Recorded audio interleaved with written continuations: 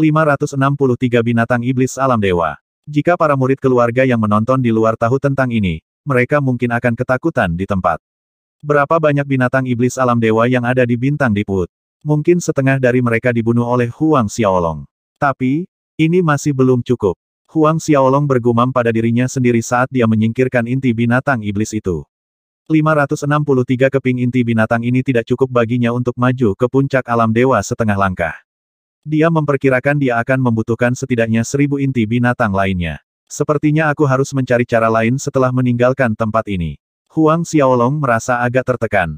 Pada saat yang sama, kesadarannya tenggelam ke dalam token. 30 juta. N. Aku akan bisa melampaui jumlah itu hari ini. Petik 1. Huang Xiaolong melompat, mengayunkan Blades of Asura di tangannya. Beberapa lampu bila berkumpul menjadi topan angin yang ganas, membawa langit penuh inti binatang yang berputar dengan kecepatan tinggi. Sejak awal, Huang Xiaolong hanya menggunakan Blades of Asura miliknya untuk menyerang, dikombinasikan dengan Wings of Demon miliknya. Sampai sekarang, dia belum memanggil roh bela diri naga kembar dan transformasi jiwa. Dia juga tidak menggunakan seni sumi yang saleh. Meski begitu, itu sudah cukup bagi Huang Xiaolong untuk memenangkan tempat pertama. Ketika tirai hampir jatuh pada hari ke-9, papan skor meledak dalam cahaya terang, menyaingi matahari, menembus 10.000 zang ke langit. Batu kristal bergetar dengan kuat saat orang banyak menyaksikan dengan ekspresi tercengang. Orang yang semua orang akui sebagai orang nomor satu di babak penilaian ini sebenarnya diturunkan ke posisi kedua. Tanda seru. Dan ketua dewan bukan lagi Guduk Leng. Tempat pertama, Huang Xiaolong. Dua kata di bagian paling atas papan skor ini memancarkan cahaya yang menyilaukan.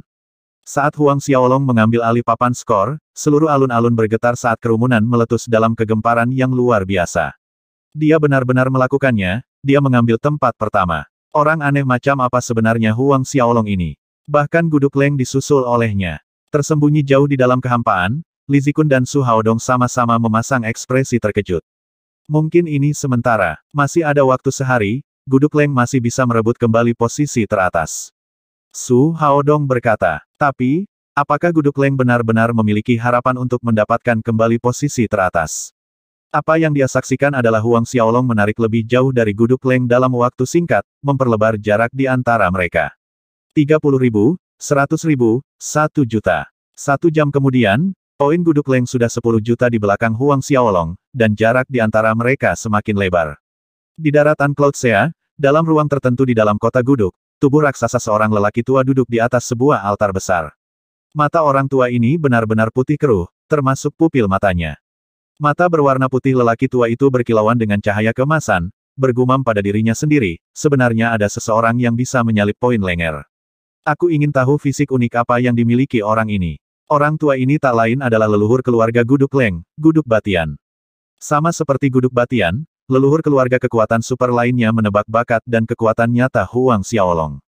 Di sisi lain, Penatua Zhang Tianchuan yang mengawasi penilaian kali ini melaporkan masalah di tempat kejadian ke tingkat atas institut dengan tergesa-gesa. Dalam proses umum, seorang pengawas seperti Zhang Tianchuan tidak diharuskan untuk membuat laporan apa pun sampai setelah penilaian berakhir, tetapi dalam situasi ini di mana Guduk Leng benar-benar dilampaui oleh orang lain selama lebih dari satu jam, dan perbedaannya semakin lebar seiring berjalannya waktu mendorongnya untuk melakukannya. Siapa Guduk Leng? Seorang jenius yang bahkan ingin diterima oleh kepala sekolah Black Warrior Institute mereka sebagai murid pribadi. Tetapi sekarang, ada kemungkinan bahwa seseorang yang bahkan lebih jenius yang mengerikan telah muncul, apa yang diwakilinya. Di permukaan dunia prajurit hitam, di dalam kompleks Institut Prajurit Hitam, kepala sekolah Feng yang terkejut mendengarkan laporan itu apa. Guduk Leng disusul. Begitulah, kepala sekolah. Seorang penatua agung menegaskan, ini dilaporkan oleh Zhang Tianchuan beberapa saat yang lalu, itu adalah nama anak-anak Huang Xiaolong, tapi, menurut mereka, selama tes bakat, kekuatannya hanya dalam kisaran 2000 poin. Kepala Institut Feng yang berangsur-angsur menjadi tenang, sebuah cahaya berkedip di matanya. Kepala sekolah, Huang Xiaolong ini, bagaimana Anda melihatnya? Grand Elder itu ragu-ragu. Awasi dia. Kepala Institut Feng yang berbicara dengan nada serius, kirim seseorang untuk menyelidiki latar belakang Huang Xiaolong ini. Ya, kepala sekolah. Sementara berbagai kekuatan bertahan dalam keterkejutan, di Deepwood Star, Huang Xiaolong berdiri di atas hamparan laut yang luas, membantai makhluk hantu. Air lautnya berwarna hitam pekat, dengan makhluk hantu yang tak terhitung jumlahnya muncul dari dasar laut. Mengedarkan energi esensi sejati dalam dantiannya, api esensi sejati menyebar dari tubuh Huang Xiaolong, mengubah area beberapa ratus li langsung di sekitarnya menjadi lautan api. Huang Xiaolong maju ke depan, dan di jejaknya, semua makhluk hantu baru yang baru saja muncul dari laut langsung terbakar menjadi abu, melepaskan jiwa mereka ke udara. Melihat ini, dia menunjukkan fakta perbuatan darah, membuka mulutnya dan menarik napas dalam-dalam. Dalam waktu kurang dari satu napas, banyak jiwa makhluk hantu tersedot ke dalam tubuh Huang Xiaolong, langsung disempurnakan. Adapun makhluk hantu alam dewa, Huang Xiaolong menangkap dan menyegel jiwa mereka sebelum melemparkan mereka ke pagoda harta karun Linglong. Pada titik ini, Huang Xiaolong tidak lagi peduli dengan poin di papan skor. Jika ada perubahan posisi, token akan bergetar sebagai indikasi, memberi tahu dia. Kembali ke alun-alun, Para ahli dan murid berbagai kekuatan terus menatap batu kristal dengan bodoh di udara saat poin Huang Xiaolong terbang lagi seolah mendapatkan angin kedua. Meskipun poin guduk Leng juga melesat dengan cepat, itu tampak seperti upaya yang sia-sia saat jarak semakin melebar. Pada satu titik, itu melewati perbedaan 130 juta poin. Jiang Saus di tempat ketiga tampak lebih menyedihkan dengan lebih dari 600 juta poin antara dia dan Guduk Leng. Akan lebih baik untuk tidak menyebut Wang Biaoyuan. Di atas laut hantu, Huang Xiaolong baru saja membunuh alam dewa Orde Pertama Pertengahan, menyegel jiwanya dan menyimpannya di dalam pagoda harta karun Linglong ketika wilayah udara di seluruh bintang diput berguncang seperti ombak. Dalam sekejap mata, semua murid muncul kembali di alun-alun Hall of Heroes. Sepuluh hari telah berlalu, penilaian akhirnya berakhir, dan semua siswa yang masih hidup dikirim keluar dari bintang diput. Sepuluh hari yang lalu, ada lebih dari 80 juta murid, tetapi setelah keluar, perkiraan hanya 50 juta murid yang tersisa, yang lain diubah menjadi makanan untuk binatang iblis, monster, dan iblis. Ketika Huang Xiaolong muncul, semua mata tertuju padanya, apakah itu murid Institut Prajurit Hitam atau murid keluarga lain, peserta atau bagian dari kerumunan yang menyaksikan. Semua perhatian mereka jatuh pada tubuh Huang Xiaolong. Sorot mata mereka seolah-olah sedang melihat monster yang menakutkan. Iri, benci, iri, kaget, takut, semua menjadi satu. Di akhir penilaian, skor akhir Huang Xiaolong melampaui 3,5 miliar poin. Ini adalah sosok yang membuat orang menjadi gila. Sosok yang memunculkan gambaran berdarah, sosok yang sulit dibayangkan atau dipercaya. Membunuh binatang iblis setengah langkah alam dewa membawa 800 poin, alam dewa orde pertama awal adalah 10.000 poin, dan alam dewa orde pertama hanya bernilai 50.000 poin. Berapa banyak binatang iblis rilem dewa setengah langkah dan puncak setengah langkah alam dewa yang harus dibunuh seseorang untuk mencapai sosok yang mengejutkan itu. Pemenang tempat pertama sebelumnya bahkan tidak mencapai 2 miliar poin. Skor Guduk Leng sama-sama mencengangkan, tetapi itu memucat dibandingkan dengan Huang Xiaolong. Poin Guduk Leng sedikit melebihi 2,8 miliar poin. Sedangkan Jiang Saus di tempat ketiga mengumpulkan lebih dari 1 miliar poin. Kamu Huang Xiaolong. Pada satu titik, Wang Biaoyuan berdiri di depan Huang Xiaolong, dengan sikap yang sedikit merendahkan. Benar, Huang Xiaolong menjawab dengan acuh tak acuh. Jika saya tidak salah, Anda hanya setengah langkah alam dewa, kan? Saya sangat ingin tahu, alam dewa setengah langkah seperti Anda, bagaimana Anda bisa mengumpulkan lebih dari 3,5 miliar poin? Tanda seru. Wang Biaoyuan bertanya. Peringkatnya turun ke tempat keempat. Gagal masuk tiga besar membuat suasana hatinya sangat buruk. Banyak orang di alun-alun memiliki pertanyaan yang sama dengan Wang Biaoyuan di hati mereka. Tatapan yang melihat Huang Xiaolong sedikit berfluktuasi. Itu benar ah, Huang Xiaolong ini hanyalah alam dewa setengah langkah. Bagaimana alam dewa setengah langkah mencapai 3,5 miliar poin? Tanda seru. Kuat seperti alam dewa setengah langkah, tidak mungkin kekuatan mereka bisa mencapai titik yang begitu menakutkan. Jiang Saus, Su Shaoxing, Jiang Wei, Li Mingxuan, He Xiu, Yang Siki, Su Meiyi, Su Haixiang, dan semua jenius lainnya yang berpartisipasi dalam penilaian memiliki keraguan dan ketidakpercayaan yang sama. Sebenarnya, Guduk Leng pun merasa sulit menerima hasil begitu saja. Dia sendiri adalah alam dewa ah, diakui sebagai jenius terkuat keluarga Gufu. Bakatnya sangat dipuji oleh leluhur keluarga Guduk mereka. Namun, dia sebenarnya dikalahkan oleh prajurit Rilem Dewa setengah langkah. Ekspresi Huang Xiaolong tetap menyendiri saat dia berbicara, bagaimana saya mencapai 3,5 miliar poin bukanlah sesuatu yang perlu saya jelaskan kepada Anda. Dengan mengatakan itu, dia berbalik dan berjalan menuju area pertemuan murid baru. Mencari kematian. Ketika Wang Biaoyuan melihat Huang Xiaolong berbalik, mengabaikannya, kemarahan meledak di matanya dan dia berteriak, tinju God King Raja Kebijaksanaan tak tergoyahkan. Melemparkan tinju ke Huang Xiaolong. Udara meledak karena tekanan yang tiba-tiba. Pukulan Wang Biaoyuan memberi para murid jenius di sekitarnya ilusi bahwa udara di sekitarnya seperti gelembung besar yang akan meletus. Di tengah seruan dan napas terengah-engah, semua orang mundur atau melarikan diri ke tempat yang aman. Ini adalah pembunuhan pertempuran peringkat ilahi keluarga Wang yang tidak diteruskan ke orang luar, tinju God King Raja Kebijaksanaan yang tak tergoyahkan. Dikatakan bahwa ketika seseorang memupuk skill ini ke tahap tertentu, itu bisa membunuh musuh hanya dengan satu pukulan. Terlebih lagi, bahkan dalam kematian, orang itu tidak akan bergerak, berdiri tak tergoyahkan selama 10.000 tahun. Sok memenuhi alun-alun. Perhatian semua orang terfokus pada Huang Xiaolong saat mereka menyaksikan tinju God King Raja Kebijaksanaan Wang Biaoyuan hendak menyerang punggung pemuda itu. Masing-masing dari mereka ingin tahu bagaimana Huang Xiaolong akan menanggapi tinju Wang Biaoyuan. Penatua Institut Prajurit Hitam Zhang Tianchuan hendak melangkah maju untuk menghentikan pertarungan ketika sebuah suara terdengar di telinganya, menghentikan tindakannya. Sebelum tinju hendak mendarat, Huang Xiaolong tiba-tiba berbalik, telapak tangan kanannya terjulur, membungkus tinju Wang Biaoyuan. Suara ledakan udara segera mereda, aliran udara yang kacau kembali normal. Dan sekitarnya sangat sunyi. Kerumunan yang menonton tercengang. Ini, benar-benar berhasil. Tidak jauh dari sana, murid-murid guduk leng terpaku melihat ini, sebuah cahaya hitam yang tidak terlalu mencolok melintas, tetapi di dalam hati, dia terkejut. Dalam sepersekian detik itu, segudang kemungkinan melintas di benaknya kecuali hasil yang dia lihat. Jiang Saus, Su Shaoxing, dan yang lainnya sama-sama terkejut. Dengan sedikit dorongan dari tangan kanan Huang Xiaolong, Wang Biaoyuan merasa tubuhnya tanpa sadar terhuyung ke belakang, didorong puluhan meter ke belakang sebelum ia berhasil mendapatkan kembali keseimbangannya. Wajah Wang Biaoyuan merah padam karena amarah saat dia menatap Huang Xiaolong kamu. Tanpa kata lain, cahaya kemasan meledak dari tubuhnya, bersiap untuk menyerang lagi. Orang lain tidak bisa ikut campur. Huang Xiaolong tetap tabah, tatapan dingin jatuh pada murid-murid keluarga Wang di dekatnya. Wang Biaoyuan melihat ke sekeliling murid keluarga Wang, menggonggong, ini adalah pertarungan antara aku dan dia, tidak ada yang diizinkan untuk ikut campur. Tubuhnya sekali lagi meledak dalam cahaya kemasan seolah-olah lapisan ki emas menyelimuti kulitnya. Sebuah energi berdebar-debar melonjak dari tubuh Wang Biaoyuan. Fisik Fajra yang tidak bisa dihancurkan. Wang Biaoyuan telah membangkitkan potensi fisik Fajra yang tidak dapat dihancurkan ketika dia maju ke alam dewa. Fisik Fajra yang tidak dapat dihancurkan sangat kuat, pertahanannya bahkan lebih menakutkan. Pada kekuatan Wang Biaoyuan saat ini, bahkan alam Dewa Orde pertama yang terlambat tidak dapat menembus pertahanannya. Melihat Wang Biaoyuan menampilkan fisik fajranya yang tidak dapat dihancurkan, alun-alun itu bergolak dengan kegembiraan.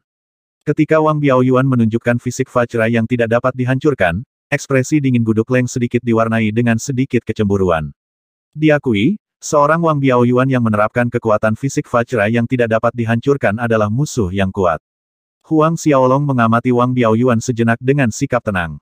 Karena seseorang datang mengetuk pintu rumahnya, dia mungkin juga mengungkapkan sebagian kecil dari kekuatannya, biarkan Black Warrior Institute melihat dengan baik. Wang Biaoyuan berusaha menyerangnya di depan umum, namun tidak seorang pun dari Institut Prajurit Hitam mencoba menghentikannya. Huang Xiaolong tahu ini karena Institut Prajurit Hitam juga ingin mengetahui tingkat kekuatannya, atau lebih tepatnya, mereka curiga dengan 3,5 miliar poinnya. Pada titik ini, Wang Biaoyuan telah meningkatkan momentumnya ke puncak. Kamu tidak menggunakan pedang. Tatapan Huang Xiaolong jatuh pada pedang kuno yang tergantung di pinggang Wang Biaoyuan. Dia tahu bahwa Wang Biaoyuan ini adalah seorang pembudidaya pedang, yang memiliki keterampilan yang mahir. Mata Wang Biaoyuan sangat dingin, melawanmu, Aku tidak perlu menggunakan pedang. Huang Xiaolong mengangkat bahunya pada jawaban Wang Biaoyuan, karena memang begitu, maka dia tidak akan sopan. Sembilan-sembilan pukulan di rantai. Wang Biaoyuan tiba-tiba menerjang ke depan, kedua tinju menyerang dengan niat membunuh. Ketika tinjunya menyerang, gambar tinju emas berturut-turut terbang keluar, bergerak ke atas dan ke bawah, kiri dan kanan, sehingga sulit bagi siapa pun untuk memprediksi lintasan mereka.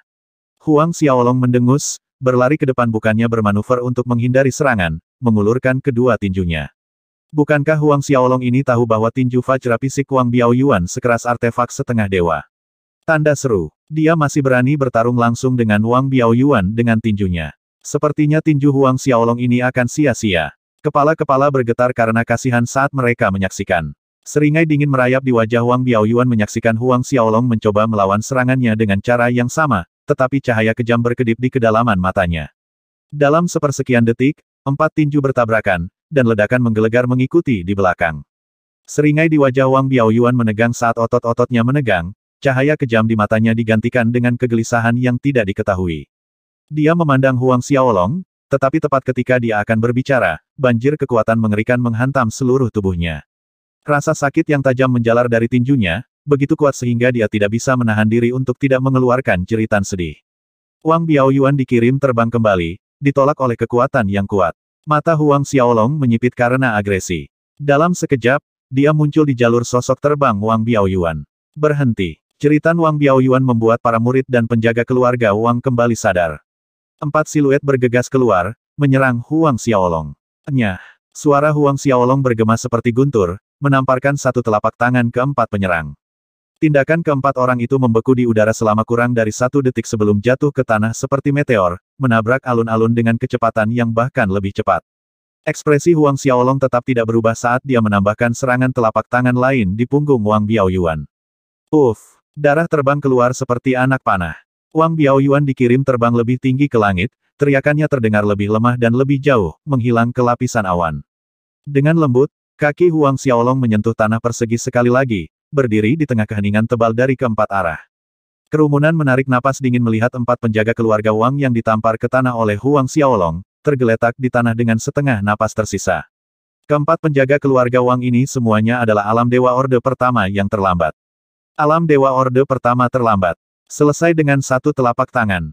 Beberapa detik kemudian, teriakan Wang Biaoyuan terdengar lagi dari langit di atas, jatuh kembali dengan kecepatan tinggi. Sebuah ledakan-ledakan bergema ketika tubuhnya menyentuh tanah. Garis laba-laba retak zigzag di permukaan persegi. Ketika semua orang akhirnya menatap Wang Biaoyuan, dengan ngeri mereka menemukan bahwa daging kecil tersisa di lengan fisik Fajra Wang Biaoyuan yang tidak dapat dihancurkan, dan ada sidik jari mencolok yang tampak sedikit menonjol di dadanya sepanjang jalan dari punggungnya. Kerumunan tercengang, apakah ini fisik Fajra yang tidak dapat dihancurkan yang menyaingi artefak setengah dewa? Jika mereka tidak menyaksikan pertarungan dari awal, mereka akan mengira itu adalah macan kertas. Guduk Leng memandang Wang Biaoyuan, berbaring di sana seolah-olah dia akan pingsan kapan saja, otot wajahnya sedikit berkedut. Brutal, terlalu brutal. Apakah dia masih manusia? Larinya bergeser saat dia mengamati Huang Xiaolong. Mata Huang Xiaolong menyapu Guduk Leng, Jiang Saus, Su Shaoxing, dan yang lainnya. Pesan di matanya kepada mereka jelas apakah ada orang lain yang ingin datang dan mempertanyakan kekuatanku. 1. Diciptakan sebagai yang tak tergoyahkan, Raja Kebijaksanaan adalah salah satu dari lima Raja Kebijaksanaan, yang menjaga pusat. Lima Raja Kebijaksanaan menjaga empat arah dan pusat, pelindung dari lima Buddha kebijaksanaan, berkaitan dengan fisik Vajra yang tidak dapat dihancurkan, dan 2. 99, cara sederhana untuk mengatakan 9A, 9. Dalam hal serangan, itu memberi kesan 81 pukulan berturut-turut. Mendeteksi provokasi dalam tatapan Huang Xiaolong, ekspresi tidak menyenangkan membayangi wajah Jiang Saus, Su Shaoxing, Zhu Haixiang, dan para jenius top lainnya, namun tidak ada yang berani melangkah keluar, termasuk Guduk Leng. Bahkan Wang Biaoyuan, yang mengaktifkan fisik Vajra yang tidak dapat dihancurkan, berubah menjadi harimau kertas belaka di depan orang ini. Jika mereka keluar, bukankah mereka akan dihantam menjadi kepala bekon? Tanda seru. Kerumunan jatuh ke dalam keheningan berat yang berkepanjangan ketika teriakan marah tiba-tiba memotong alun-alun saat sesosok melompat keluar dari tengah-tengah keluarga Wang, menyerang Huang Xiaolong. Tuan keluarga Wang, prajurit alam Dewa Orde ketiga. Tindakannya terlalu cepat, tidak terpikir oleh siapa pun bahwa master keluarga Wang akan mencoba membunuh Huang Xiaolong. Kurang ajar. Tepat ketika tuan keluarga Wang hendak menamparkan telapak tangannya ke atas Huang Xiaolong, cahaya pedang sekilas berkilau dan menghilang. Pakar keluarga Wang melolong kesakitan, mencengkeram tangannya saat dia mundur, menatap takut pada Elder Zhang Tianchuan dari Black Warrior Institute. Penatua Zhang Tianchuan yang menyerang sebelumnya. Semua orang bisa melihat bahwa kelima jari tuan keluarga Wang itu terpotong dengan rapi. Zhang Tianchuan memelototi kelompok keluarga Wang dengan dingin, menekankan setiap kata ini adalah daratan Cloud Sea, ini adalah kota prajurit hitam. Kali ini, potong lima jarimu sebagai hukuman, tapi lain kali, itu akan menjadi hidupmu. Huang Xiaolong telah membuktikan kekuatannya. Dengan demikian, dia adalah pemegang tempat pertama Institut Prajurit Hitam untuk penilaian ini. Jika Huang Xiaolong terbunuh di kota prajurit hitam, bukankah itu akan mengubah seluruh Institut Prajurit Hitam menjadi lelucon terbesar abad ini? Seorang jenius seperti Huang Xiaolong adalah pemandangan langka dalam seratus ribu tahun yang pasti akan meningkat menjadi harta berharga Black Warrior Institute di masa depan, tentu saja Black Warrior Institute perlu melindunginya. Bahkan, tindakan penting harus diambil untuk melindunginya. Mencengkeram tangannya yang terluka, Tuan keluarga Wang itu tidak punya pilihan selain menelan amarahnya, sama seperti tuan keluarga Wang lainnya. Dalam hal ini, mereka bersalah. Baik Huang Xiaolong dan Wang Biaoyuan telah menentukan bahwa tidak ada yang diizinkan untuk ikut campur, tetapi keluarga Wang melakukan serangan diam-diam setelah Wang Biaoyuan kalah. Tatapan dingin Zhang Tianchuan mengamati kerumunan sebelum berbalik ke arah Huang Xiaolong dengan senyum yang memesona. Saudara laki-laki Huang, apakah kamu baik-baik saja? Nada itu, dengan cara itu, mereka benar-benar membuat orang banyak bertepuk tangan. Zhang Tianchuan adalah penatua dari Institut Prajurit Hitam Ah, Seseorang dengan status tinggi di seluruh galaksi kura-kura hitam, apakah dia perlu menunjukkan kesopanan yang begitu besar kepada murid baru? Kemudian lagi, mengingat bakat dan kekuatan menakutkan Huang Xiaolong, mereka hanya bisa menerimanya. Mengandalkan bakat dan kekuatan yang telah diperlihatkan oleh Huang Xiaolong, kesopanan dan senyum Elder Zhang Tianchuan tentu saja menjadi hal yang wajar. Huang Xiaolong melihat senyum mempesona Zhang Tianchuan dengan perasaan sedikit tersanjung, dengan sopan menjawab, Penatua Zhang, saya tidak terluka. Zhang Tianchuan mengangguk dengan senyum lebar, tetapi matanya yang tajam tertuju pada Huang Xiaolong. Tatapan itu membuat merinding di leher Huang Xiaolong. Selanjutnya, Zhang Tianchuan secara resmi mengumumkan daftar 10 nama teratas. Adapun tempat ke-11 hingga ke-100, Zhang Tianchuan hanya memerintahkan orang lain untuk mengumumkan daftar lainnya kepada publik. Setelah 10 tempat teratas diumumkan, itu adalah upacara pemberian hadiah. Hanya 10 tempat teratas yang memiliki hadiah. Hadiah untuk tempat kedua hingga ke-10 diberikan oleh Elder Zhan Tianchuan, tetapi ketika giliran Huang Xiaolong, hadiahnya diberikan oleh Grand Elder Bao Xinrui. Dari sini, perbedaan perlakuan antara tempat pertama, kedua, ketiga dan yang lainnya terlihat jelas. Di atas panggung, Huang Xiaolong menerima cincin spasial dari Grand Elder Bao Xinrui yang berisi 10 juta koin Xuanwu, seribu pelet kekuatan besar prajurit hitam, seribu batu roh tingkat suci, dan satu keterampilan pertempuran peringkat ilahi. Ketika Huang Xiaolong menerima hadiahnya dari Grand Elder Bao Xinrui, Grand Elder mengamati pemuda di depannya, wajah keriput tuanya penuh dengan senyum, mengangguk dengan penghargaan, kamu, sangat baik. Baik sekali. Pernyataan singkat ini menarik tatapan iri dan cemburu dari para jenius di sekitarnya.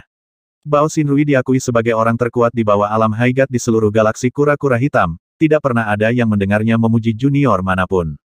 Kemudian, sebelum tatapan iri dan cemburu mereda, Bao Xinrui berbicara lagi, kepala sekolah ingin bertemu denganmu, apakah kamu punya waktu? Semua orang bingung, tercengang. Kepala institut ingin melihat Huang Xiaolong. Bahkan Huang Xiaolong tidak menyangka kepala sekolah Black Warrior Institute ingin bertemu dengannya. Tetap saja, itu adalah kabar baik baginya jika kepala sekolah Black Warrior Institute ingin bertemu dengannya, oleh karena itu dia tidak punya alasan untuk menolak. Selain itu, dia tidak sebodoh itu untuk menolak. Melihat Huang Xiaolong setuju, Bao Xinrui memulai rangkaian transmisi alun-alun, menghilang di depan pandangan semua orang bersama dengan Huang Xiaolong. Setelah dua siluet menghilang-menghilang dari pandangan mereka, keributan besar menyapu kerumunan. Kepala sekolah Black Warrior Institute ingin melihat Huang Xiaolong, menurutmu tentang apa ini? Bakat Huang Xiaolong luar biasa, mungkin kepala sekolah institut ingin memberinya lebih banyak hadiah. Atau, siapa tahu, mungkin dia bahkan ingin mengambil Huang Xiaolong sebagai murid pribadinya. Apa, ambil Huang Xiaolong sebagai murid pribadi? Tidak bisa, kan? Bukankah itu berarti Huang Xiaolong mencapai langit dalam satu lompatan? Diskusi di alun-alun menjadi hidup. Beberapa orang menduga bahwa kepala institut berkeinginan untuk menerima Huang Xiaolong sebagai murid pribadi karena bakatnya yang lebih tinggi dari Guduk Leng, tetapi ada yang tidak setuju dengan pandangan ini, karena sudah lebih dari 20 ribu tahun sejak kepala sekolah institut terakhir menerima murid pribadi. Rumor beredar. Di sisi lain, mengikuti di belakang Bao Xinrui, Huang Xiaolong melihat kabur warna-warni memasuki visinya dan dia telah tiba di alun-alun besar lainnya. Di sekeliling alun-alun terdapat struktur bangunan yang sepertinya tidak ada habisnya, memancarkan aura kuno dari perubahan waktu, yang menua dengan berlalunya tahun. Ini adalah North Star Square permukaan Black Tortoise World kami. Bao Xinrui menjelaskan, jika kamu ingin pergi ke daratan Cloud Sea di masa depan, kamu dapat diangkut langsung ke kota prajurit hitam dengan susunan transmisi di alun-alun bintang utara ini. Ini adalah dunia kura-kura hitam. Huang Xiaolong menarik napas dalam-dalam, menyerap energi spiritual yang kaya ke dalam tubuhnya. Energi spiritual di sini sangat murni, dua kali lebih murni dari energi spiritual di dunia roh bela diri. Tingkat kemurniannya benar-benar mengejutkan Huang Xiaolong. Semakin murni energi spiritual, semakin penting bagi latihan seorang kultivator. Bao Xinrui memimpin Huang Xiaolong keluar dari North Star Square, terbang menuju wilayah tengah dunia kura-kura hitam. Mengikuti di belakang Bao Xinrui, Huang Xiaolong menyaksikan saat mereka terbang di atas satu kota demi satu, istana demi istana, masing-masing lebih makmur daripada yang sebelumnya. Di beberapa tempat, murid-murid Institut Prajurit Hitam dapat terlihat menyusun formasi susunan. Di beberapa daerah pegunungan, bumi digali untuk membangun kota-kota baru. Sementara Bao Xinrui dan Huang Xiaolong sedang dalam perjalanan ke wilayah tengah dunia kura-kura hitam, di dalam kota besar di wilayah tengah, Grand Elder Chan Yu melapor kepada Kepala Institut Feng Yang, Kepala Sekolah, kami telah menyelidiki keberadaan Huang Xiaolong. Latar belakang, dia adalah murid dari dunia roh bela diri galaksi kura-kura hitam kita. Sehari sebelumnya, ketika poin Huang Xiaolong melampaui poin Guduk Leng, Kepala Sekolah Black Warrior Institute memerintahkan orang untuk menyelidiki latar belakang Huang Xiaolong. Berdasarkan kekuatan institut, menyelidiki latar belakang seseorang bukanlah hal yang sulit. Ketika kepala institut mendengar bahwa Huang Xiaolong memang penduduk asli galaksi kura-kura hitam, dia menghela nafas lega. Dia khawatir bahwa Huang Xiaolong mungkin adalah murid yang dikultivasikan oleh kekuatan super galaksi lain, tetapi sekarang kekhawatiran ini telah hilang. Dunia roh bela diri, Kepala Institut Prajurit Hitam merenungkan permukaan dunia tersebut, mengatakan, sejak Perang Iblis Besar itu, kekuatan keseluruhan dunia roh bela diri turun ke titik terendah, jatuh dari peringkat 10.000 dunia galaksi teratas. Tidak terduga bahwa pemuda berbakat seperti itu akan keluar dari sana sekarang. Ada lebih dari 120.000 permukaan dunia di seluruh galaksi kura-kura hitam, dia tidak mungkin mengingat semuanya. Namun, dia memiliki beberapa kesan di dunia roh bela diri. Mulut Grand Elder Chan Yu bergerak seolah-olah dia ingin berbicara tetapi ragu-ragu. Apa itu? Kepala Institut Feng yang memperhatikan sikapnya yang aneh dan bertanya, apakah ada masalah dengan Huang Xiaolong? Grand Elder Chan Yu tidak membawa kepercayaan diri yang biasa saat dia berbicara, bahwa Huang Xiaolong lahir di dunia roh bela diri sedikit lebih dari 30 tahun yang lalu. Sedikit lebih dari 30 tahun. Untuk sesaat, otak kepala Institut Feng yang gagal membuat koneksi, tetapi ketika dia akhirnya menyadari apa yang ingin dikatakan oleh Grand Elder Chan Yu, Feng yang menarik napas dingin yang tajam, Yo kamu mengatakan, bahwa Huang Xiaolong, berkultivasi sampai sekarang hanya membutuhkan waktu sekitar 30 tahun. Tanda seru. Menonton ekspresi terkejut dan bingung dari kepala sekolah institut, Grand Elder Chan Yu mengangguk dengan serius, begitu, kepala sekolah, bahwa Huang Xiaolong baru berusia 30 tahun.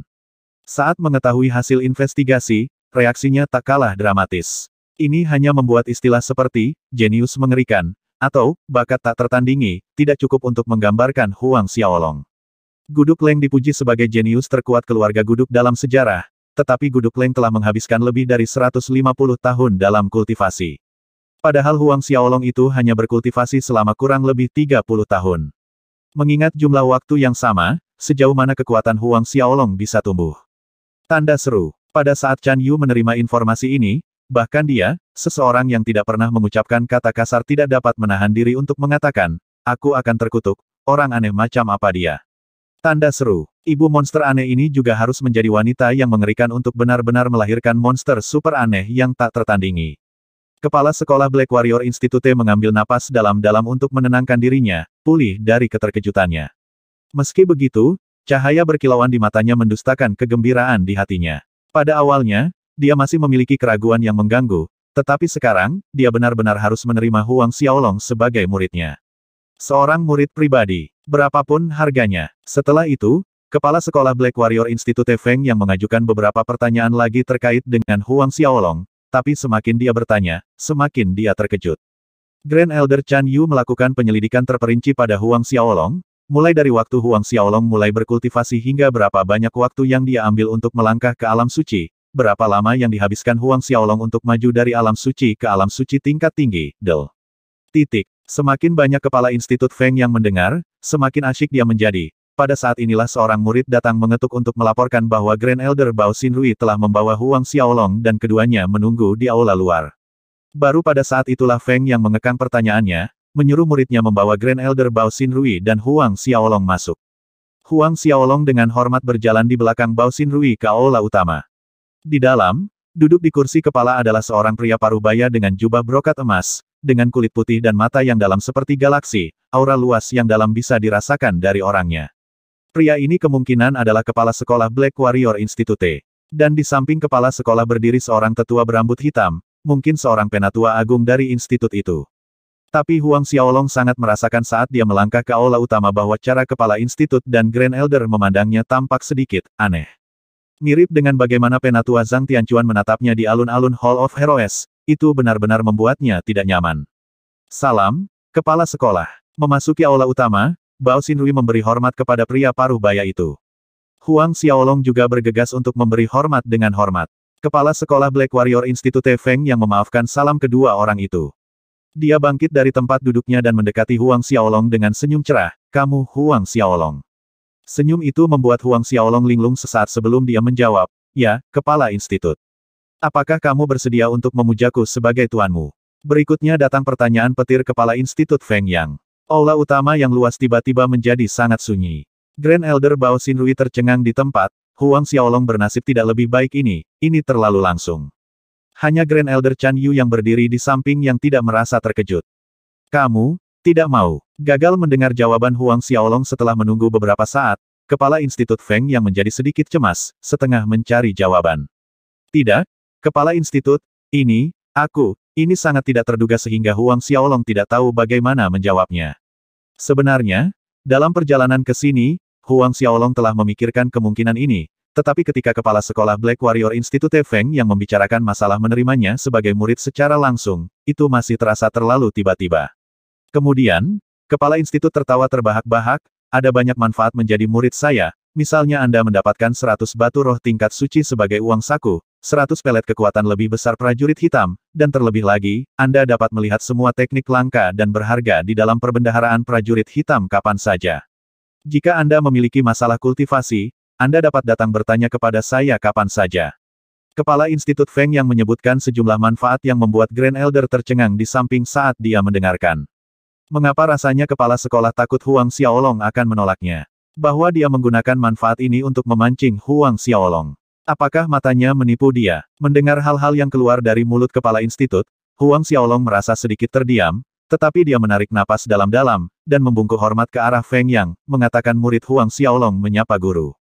Huang Xiaolong telah memikirkan banyak hal sebelum tiba, hanya ada manfaat untuk memuja kepala sekolah Black Warrior Institute sebagai tuannya. Pertama-tama, itu adalah sumber daya budidaya.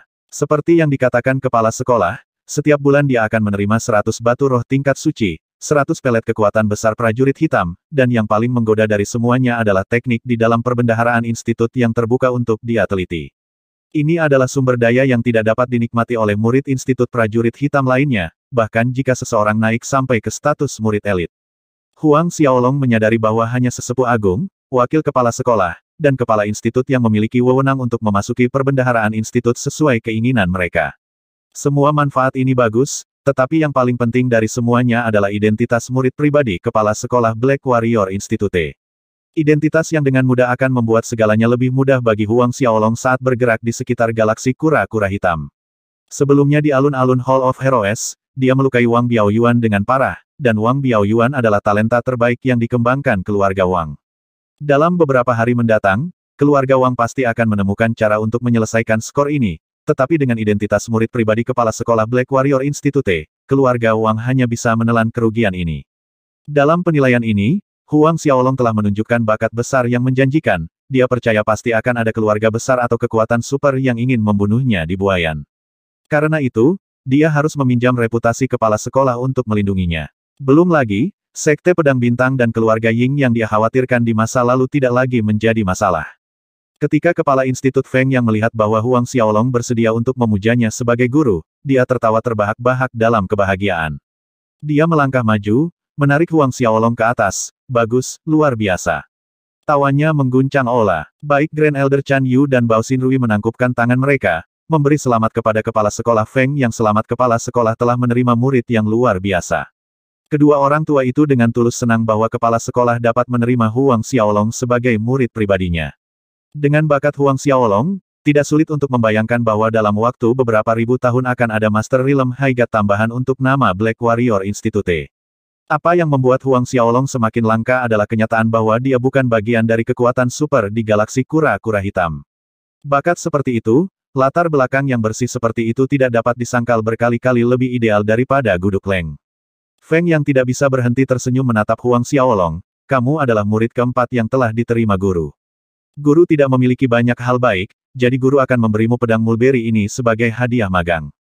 Dengan mengatakan itu, dia mengeluarkan pedang kayu dan memberikannya kepada Huang Xiaolong. Pedang kayu itu tidak panjang atau pendek, itu tidak berbeda dari pedang kayu biasa dari segi penampilan, tetapi Huang Xiaolong tahu bahwa pedang kayu ini sama sekali tidak. Menonton ini di samping, baik Grand Elder Chan Yu dan Bao Xinrui tercengang oleh kenyataan bahwa kepala sekolah bersedia berpisah dengan pedang kayu, memberikannya kepada Huang Xiaolong.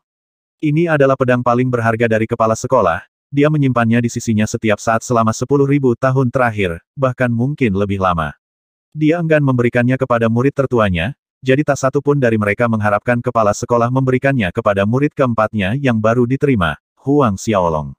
Ini adalah bukti betapa kepala sekolah sangat menghargai murid bungsunya. Huang Xiaolong menerima pedang mulberry, mengucapkan terima kasih, terima kasih, Tuan. Setelah Huang Xiaolong mengambil pedang mulberry, Feng yang dengan gembira melanjutkan, pedang mulberry ini dicetak dengan seperangkat keterampilan pedang yang saya buat dari pencerahan. Setelah kamu menyempurnakan pedang mulberry ini, latih teknik pedang mulberry. Kemudian, kepalanya melihat ke arah Grand Elder Chan Yu, buat pengumuman ke galaksi, saya telah mengambil Huang Xiaolong sebagai murid saya, upacara akan diadakan satu bulan kemudian. Semua leluhur dan penguasa keluarga diundang untuk menjadi saksi. Sebagai kepala sekolah Black Warrior Institute, dia menerima murid adalah peristiwa besar. Seluruh acara besar galaksi kura-kura hitam, tentu saja tidak bisa dianggap selesai dengan gegabah tadi. Upacara pemujaan harus dilakukan dalam skala besar. Segera, berita tentang kepala sekolah Black Warrior Institute menerima Huang Xiaolong sebagai murid pribadi menyebar, mengirimkan gelombang besar di galaksi. Pada saat yang sama, skor akhir Huang Xiaolong dalam penilaian murid baru juga tersebar. Ada yang kaget, ada yang merasa iri, dan ada yang iri. Tentu saja, kebanyakan orang merasa bahwa Huang Xiaolong naik ke ketinggian dalam satu lompatan, mirip dengan udik desa miskin yang tiba-tiba berteman dengan kaisar sebuah kekaisaran. Namun, Ketika leluhur pasukan super mengetahui bahwa Huang Xiaolong hanya berkultivasi tidak lebih dari 30 tahun, kebingungan sesaat mereka berubah menjadi rasa iri yang kuat terhadap kepala sekolah Institut Prajurit Hitam karena menerima harta yang menantang surga. Sedangkan keluarga Wang yang masih menyimpan dendam terhadap Huang Xiaolong hanya bisa menyerah pada niat buruk apa pun. Leluhur, apakah kita benar-benar akan melupakan masalah ini? Tanda seru. Dalam ruang tertentu, wajah Wang Biaoyuan menunjukkan kengganan yang besar. Tapi, Tepat ketika kata-kata itu keluar dari mulutnya, dia dikirim terbang oleh leluhur keluarga Wang dengan sapuan telapak tangan. Memegang sisi wajahnya saat dia memanjat dari tanah, Wang Biaoyuan tercengang tak percaya saat dia melihat leluhurnya. Sejauh ingatannya pergi, leluhurnya tidak pernah memukulnya. Mata leluhur keluarga Wang menatap dingin padanya, wajah keluarga Wang telah dipermalukan olehmu. Jika Anda memiliki kemampuan, kalahkan Huang Xiaolong dengan adil. Kembalilah ke tempatmu, dan lakukan latihan tertutup. Kira-kira pada saat yang sama berita tentang Kepala Sekolah Institut Prajurit Hitam menerima Huang Xiaolong sebagai murid pribadi menyebar, berita lain juga menyebar Wang Biaoyuan dipukuli hingga menjadi bubur oleh Huang Xiaolong di alun-alun Hall of Heroes, mengubah keluarga Wang menjadi bahan tertawaan di mata keluarga terkemuka lainnya. Seorang Master Alam Dewa, yang memiliki fisik Vajra tak terhancurkan yang legendaris dipukuli seperti guk-guk oleh Alam Dewa setengah langkah, jika ini bukan lelucon, lalu apa? Sadenfrude dari keluarga lain menyebabkan leluhur keluarga Wang kehilangan banyak muka. Wang Biaoyuan tidak berani membuat suara lain melihat bahwa leluhurnya benar-benar marah, menggeliat secepat mungkin. Huang Xiaolong. Setiap kali dia mengingat adegan dirinya dipukul oleh Huang Xiaolong di alun-alun Hall of Heroes, mata Wang Biaoyuan bersinar dengan dendam yang berbisa. Hal ini, dia sama sekali tidak akan membiarkan penghinaan ini meluncur. Kalahkan Huang Xiaolong adil dan jujur. Dalam hal ini, dia akan mengalahkan Huang Xiaolong dengan adil. Murid baru menjadi sasaran penilaian kompetisi setiap tiga tahun, dan pada saat itu, murid baru diizinkan untuk saling menantang. Huang Xiaolong, tiga tahun kemudian, aku akan mengalahkanmu di depan kepala sekolah Black Warrior Institute dan seluruh murid dan sesepuh institut. Wang Biaoyuan mencibir, dia akan membiarkan leluhurnya dan seluruh galaksi mengerti bahwa Huang Xiaolong bukan apa-apa di hadapannya. Sebuah cahaya lembut melintas di tangannya, mengungkapkan peta harta karun. Peta harta karun ini adalah sesuatu yang dia dapatkan tiga bulan lalu. Selama dia bisa menemukan esensi logam murni yang ditunjukkan di peta, dalam waktu tiga tahun, membobol alam Dewa Orde Kedua atau bahkan alam Dewa Orde Kedua pertengahan atau akhir sangat mungkin. Tidak heran jika Wang Biaoyuan memiliki kepercayaan diri untuk mengalahkan Huang Xiaolong. Esensi logam murni ini sebanding dengan harta embrio spiritual bawaan yang ditemukan Huang Xiaolong sebelumnya. Selain itu, fisik Fajra Wang Biaoyuan yang tidak dapat dihancurkan adalah dari elemen logam. Setelah menyempurnakan esensi logam murni ini, fisik Fajra yang tidak dapat dihancurkan akan ditingkatkan ke tingkat yang tak terbayangkan. Sementara semua orang tenggelam dalam berita mengejutkan tentang kepala sekolah Black Warrior Institute yang menerima Huang Xiaolong sebagai murid pribadi, Bintang saat itu berkultivasi di dalam istana besar seperti istana di wilayah tengah. Rumah ini milik kepala sekolah institut, sebuah kompleks yang membentang ribuan li, dan energi spiritual di sini beberapa kali lebih padat dan lebih murni dibandingkan dengan tempat lain.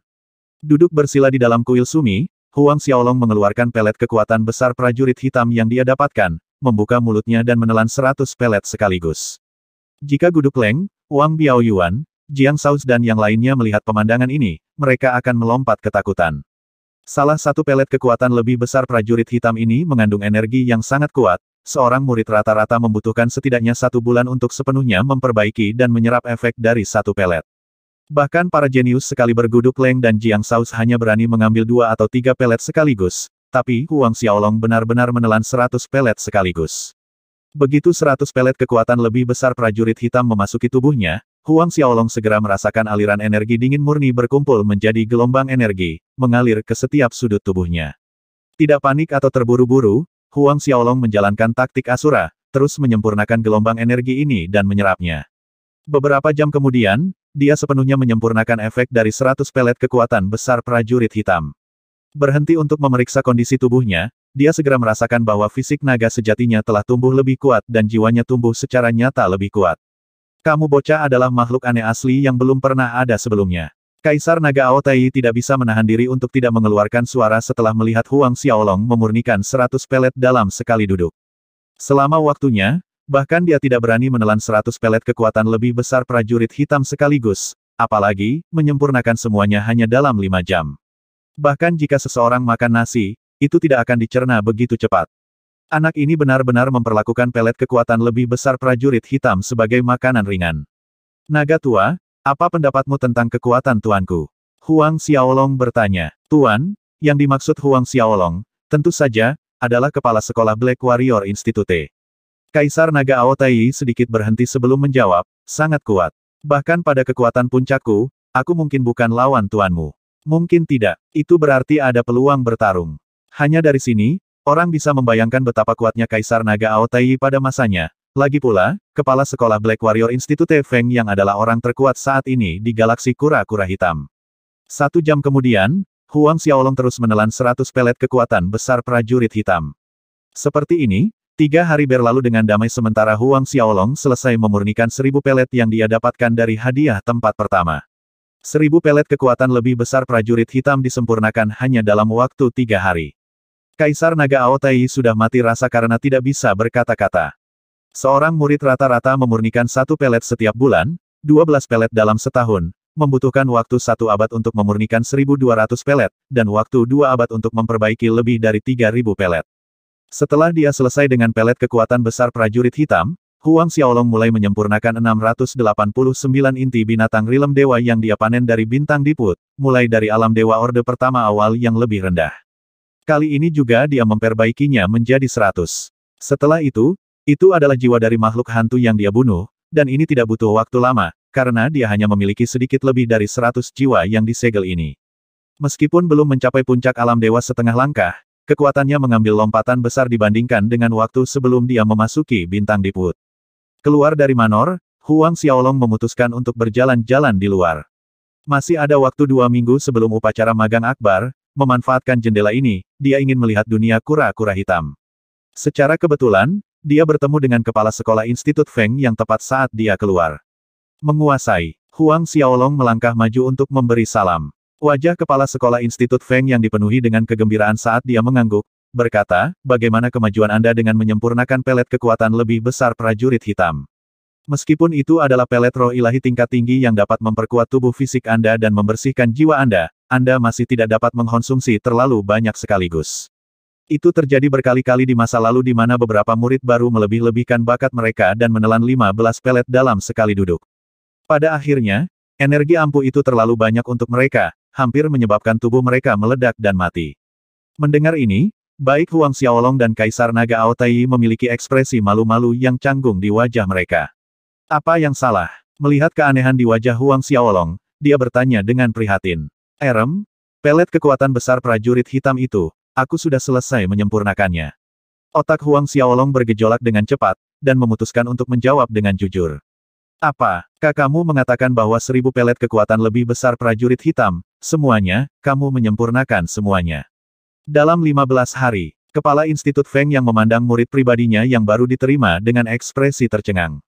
N. Ya, Huang Xiaolong mengangguk. Awalnya, dia ingin mengatakan bahwa pelet itu selesai dalam tiga hari, tetapi memutuskan untuk tidak melakukannya. Lagi pula, itu mungkin terlalu mengejutkan. 545. Menonton Huang Xiaolong menganggukkan kepalanya, saraf kepala Institut Feng yang sedikit berkedut meskipun toleransi kejutannya tinggi. Seribu pelet kekuatan lebih besar prajurit hitam dalam 15 hari. Memikirkan nomor ini, Feng yang merasa pusing. Butuh beberapa saat bagi Feng yang untuk perlahan-lahan menjadi tenang, matanya berbinar saat dia menatap Huang Xiaolong, murid barunya ini.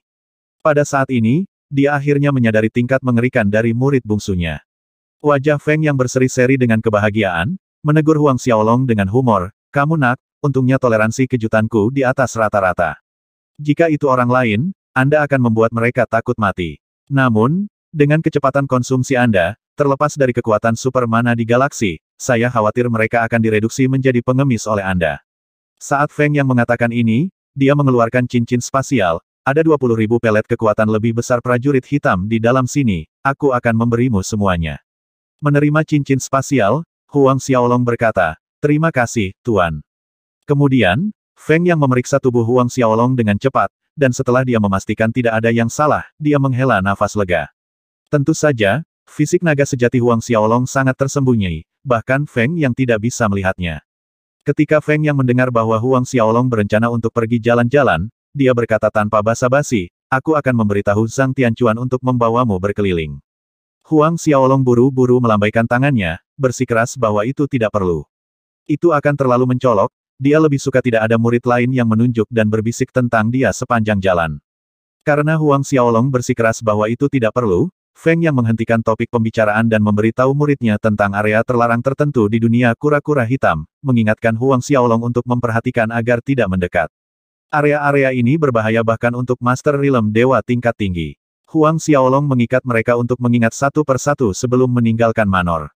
Menonton sosok Huang Xiaolong yang menghilang, Feng yang mengangguk pada dirinya sendiri dengan senyum tipis, bakat murid ini jauh melampaui perkiraannya. Mampu menerima murid seperti itu sebelum dia naik ke dunia ilahi memberinya kepuasan yang luar biasa. Adapun Huang Xiaolong, setelah meninggalkan Manor, dia dengan santai berkeliling kota, melihat-lihat. Dunia kura-kura hitam kira-kira berukuran sama dengan daratan Cloudsea. Dan seluruh dunia kura-kura hitam adalah institut prajurit hitam. Sebagai institut akademik teratas galaksi kura-kura hitam, serta kekuatan super teratas, ia memiliki hierarki yang ketat.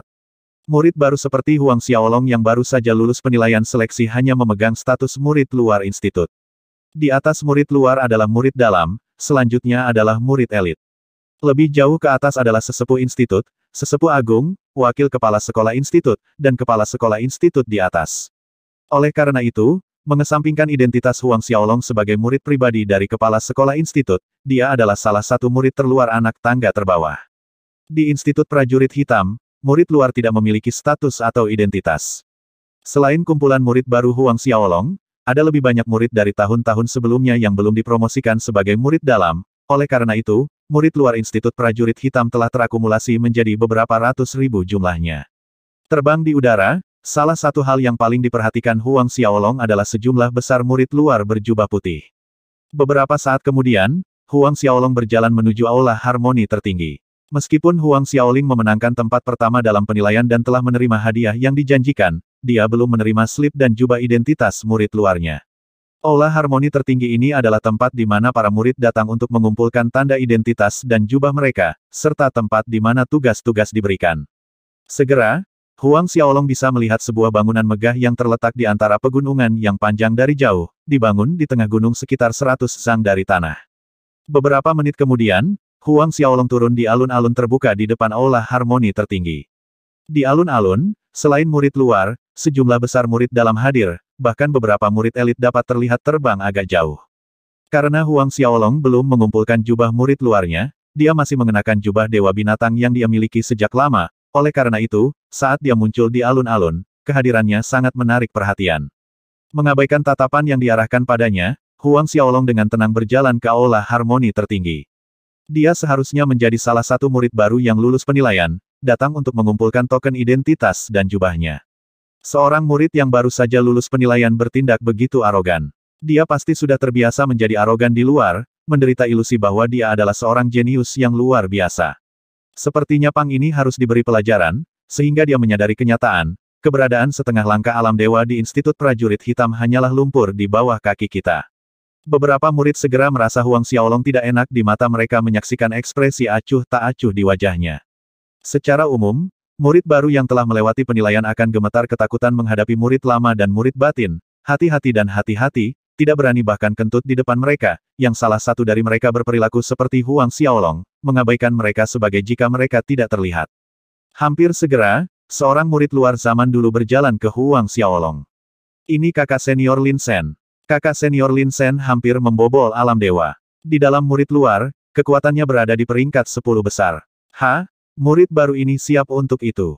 Tunggu dan lihat bagaimana murid baru ini akan menangis untuk ibu sebentar lagi. Murid-murid di sekitarnya bergerak lebih dekat untuk mengantisipasi pertunjukan yang bagus. Di dunia prajurit hitam, Institut Prajurit Hitam tidak membatasi murid pada tingkat yang sama untuk berduel selama tidak ada kematian yang terjadi. Ini juga alasan utama mengapa Lin Sen ini berani bergerak pada Huang Xiaolong. Huang Xiaolong baru saja akan melangkah ke aula harmoni tertinggi ketika seorang pemuda tinggi berotot mendekatinya dengan cara yang kurang ramah. Lengan pemuda ini berotot dan tebal. Berhenti di depan Huang Xiaolong, pemuda itu mengangkat tangannya dan mengayunkan pukulan ke Huang Xiaolong tanpa sepatah kata pun. Kekuatan yang dipancarkan oleh tinju itu kuat dan kompak. Memotong udara, itu terdengar seperti gesekan tajam antara logam. Dalam dua minggu terakhir, Huang Xiaolong meluangkan waktu untuk membiasakan diri dengan keterampilan pertempuran Black Warrior Institute, sehingga ia mengenali keterampilan pertempuran yang ditampilkan pemuda ini keterampilan pertempuran bernama Dynamic Fist. Keterampilan pertempuran ini cukup biadab di alam. Setelah mencapai penyelesaian besar, satu pukulan dapat dengan mudah menghancurkan gunung besar, mematahkan inti baja, dan menghancurkan hati batu giok. Huang Xiaolong berdiri diam, menunggu tinju pemuda itu tiba di depannya. Kemudian, dia mengangkat telapak tangannya dan melakukan serangan cepat. Serangan telapak tangan ini membuka celah ruang angkasa, udara meledak dari kekuatan dan tanah bergetar. Ketakutan meledak di mata murid luar tua Lin Sen. Dia secara naluriah ingin mundur, namun dengan cemas, dia menemukan bahwa dia tidak bisa bergerak. Dia hanya bisa melihat dengan mata terbelalak saat telapak tangan Huang Xiaolong mengenai tubuhnya. Pa, suara tajam yang tajam terdengar. Lin Sen dikirim terbang dengan satu serangan telapak tangan dari Huang Xiaolong, dadanya meledak terbuka, menabrak sudut jauh alun-alun seperti guk-guk mati.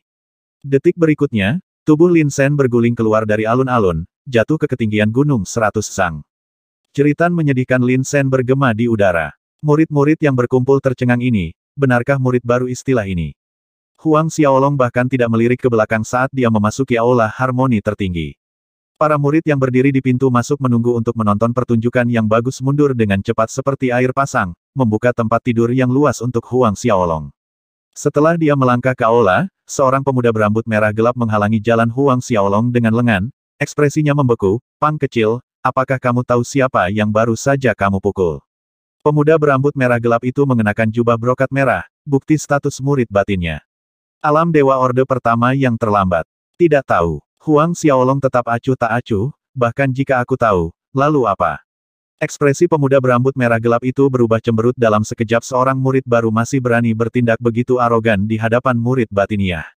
Itu benar-benar tindakan sembrono. Mata pemuda berambut garnet itu sedingin es melotot pada Huang Xiaolong, Pang kecil, apakah kamu benar-benar berpikir lulus penilaian murid baru berarti tidak ada yang berani mengambil nyawamu? Biarkan saya membangunkan Anda, setiap tahun, jumlah murid luar Black Warrior Institute yang kehilangan nyawa mereka di luar melakukan berbagai tugas tidak sedikit.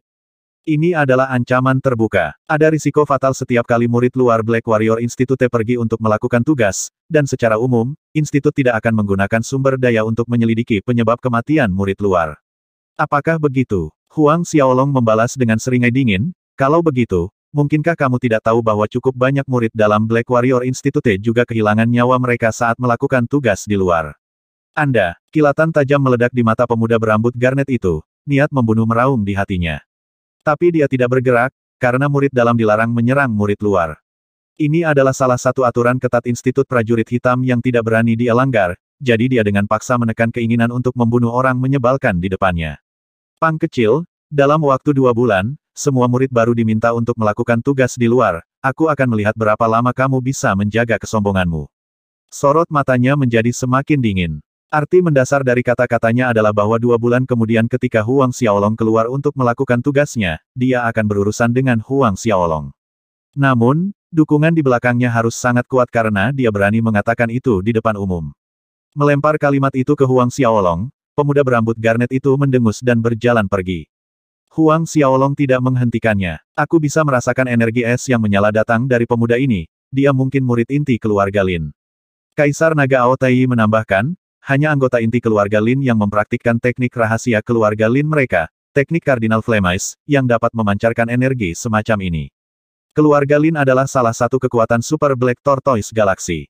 Di masa lalu, mungkin Huang Xiaolong tidak memikirkan masalah ini, tetapi sekarang semuanya berbeda.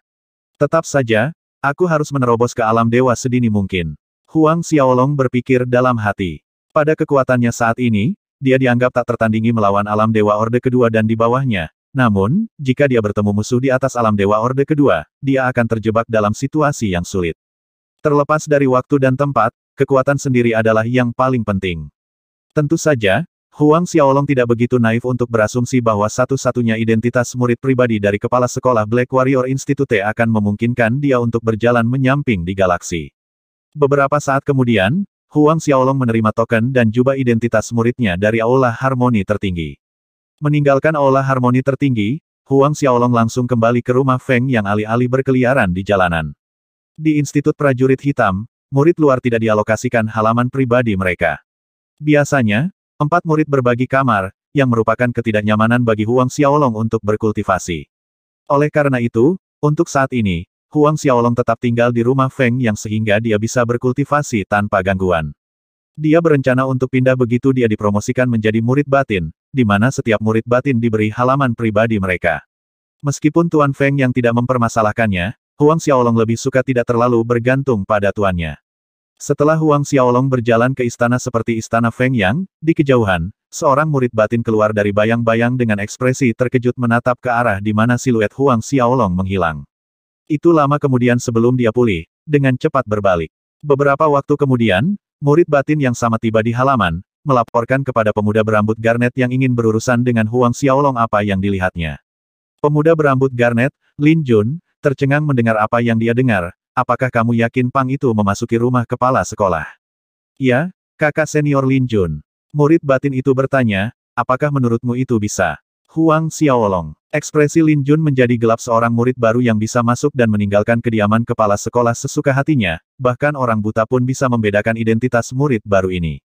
Tidak heran seorang murid baru berani menunjukkan kesombongan seperti itu. Bahkan tidak menempatkan murid batinnya seperti dia di matanya. Kakak senior Lin Jun, saya pikir kita harus melupakan masalah ini. Murid batin itu dengan hati-hati dibujuk. Sebuah cahaya berkedip di mata Lin Jun, dia melambaikan tangan pada muridnya dan berkata, maaf untuk saat ini. Murid itu mengakui dengan lembut dan mundur dari halaman. Lin Jun tetap di tempatnya dengan tangan di belakang punggungnya.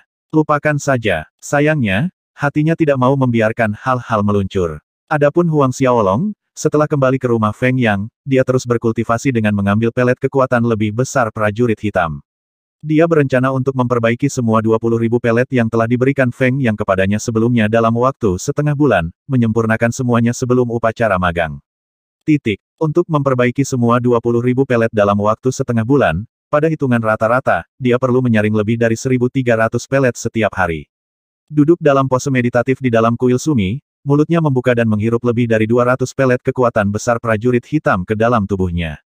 Mengedarkan seni perisai pelindung naga harta karun, diagram formasi di dalam tubuhnya muncul, melepaskan sejumlah besar energi esensi naga sejati.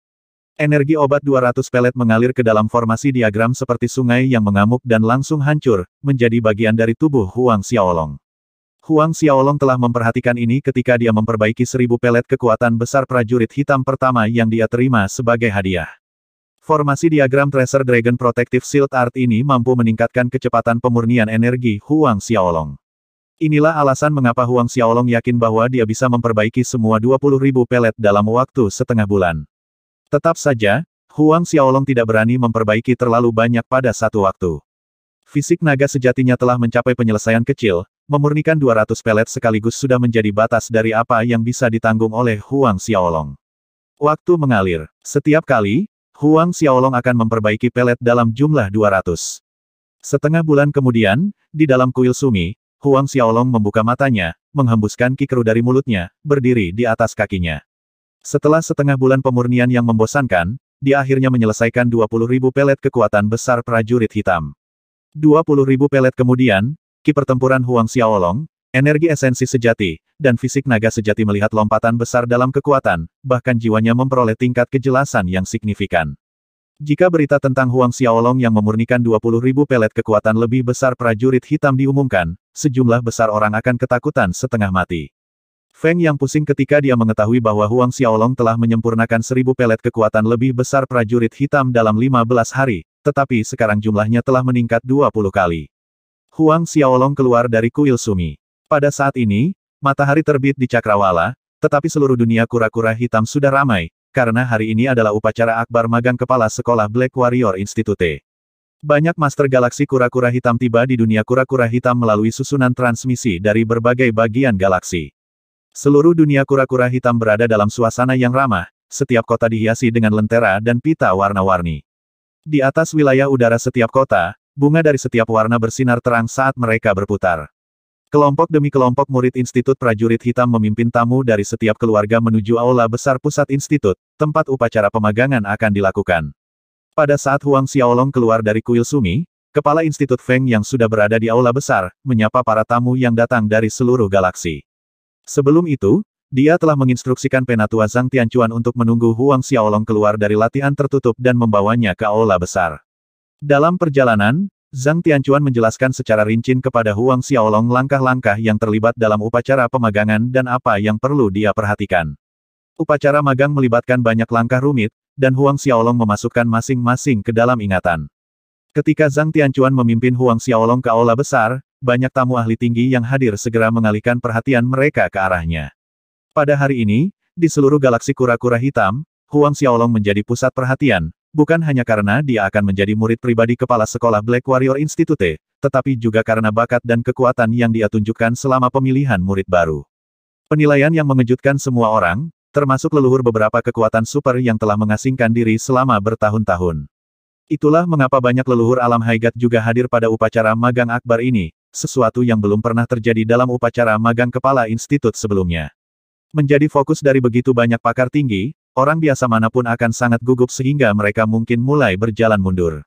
Namun, tubuh Huang Xiaolong sedikit bergetar dengan semburan kecil energi Budisme saat dia berjalan ke aula besar dengan ekspresi tenang. Melihat energi Budisme yang dipancarkan dari tubuh Huang Xiaolong, banyak pakar tinggi yang hadir menunjukkan berbagai ekspresi. Masih ada waktu sebelum upacara magang dimulai ketika Huang Xiaolong tiba. Kepala Institut Feng yang menyeret murid termudanya di sekitar aula besar, memperkenalkannya kepada berbagai leluhur dan leluhur dari kekuatan super dan keluarga yang berbeda. Selain Kepala Institut Feng Yang, perwakilan dari 21 kekuatan super lainnya dari galaksi kura-kura hitam telah tiba, termasuk leluhur dan leluhur. Di antara 21 kekuatan super lainnya, 17 leluhur datang untuk menghadiri upacara tersebut.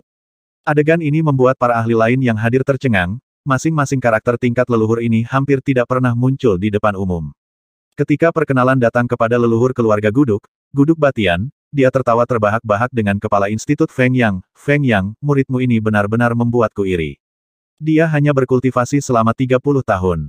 Saya memperkirakan dia akan menerobos ke alam dewa dalam 10 tahun, dalam hal ini, dia hanya membutuhkan 40 tahun kultivasi untuk mencapai alam dewa, ini menghancurkan seluruh catatan galaksi kura-kura hitamah.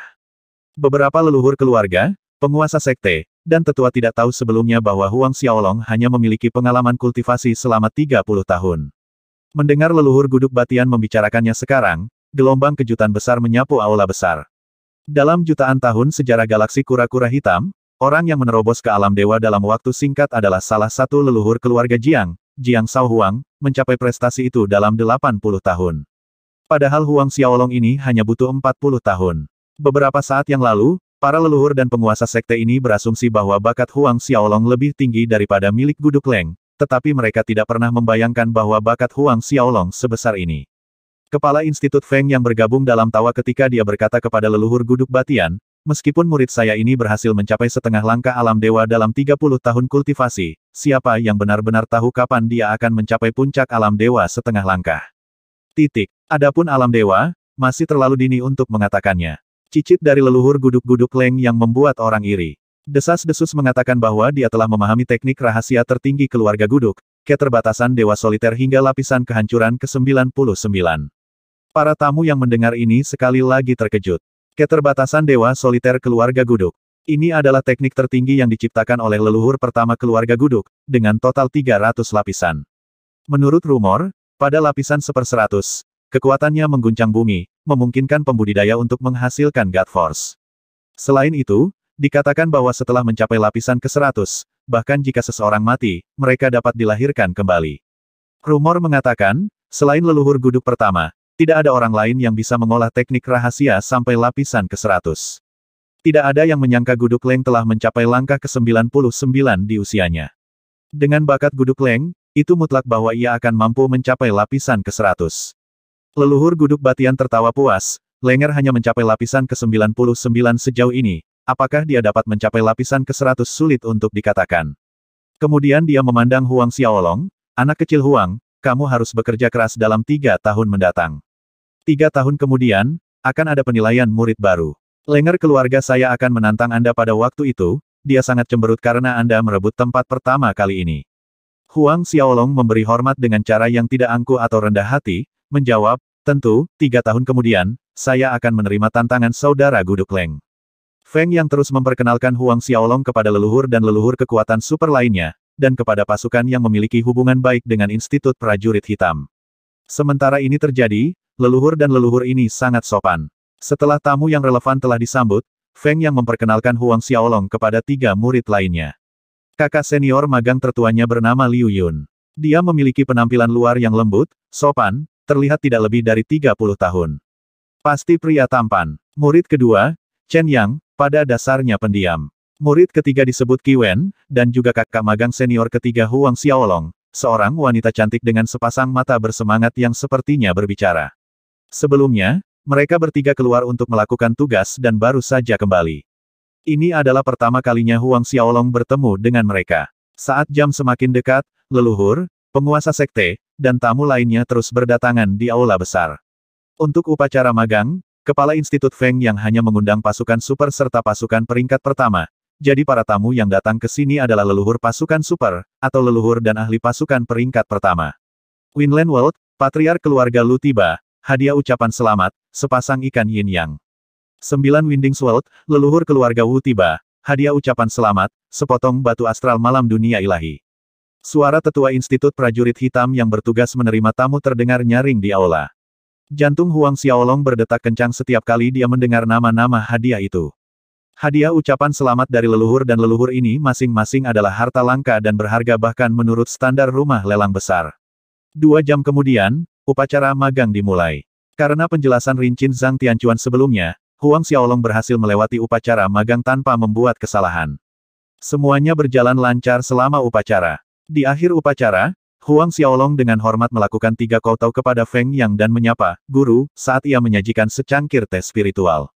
Feng Yang tersenyum saat menerima secangkir teh.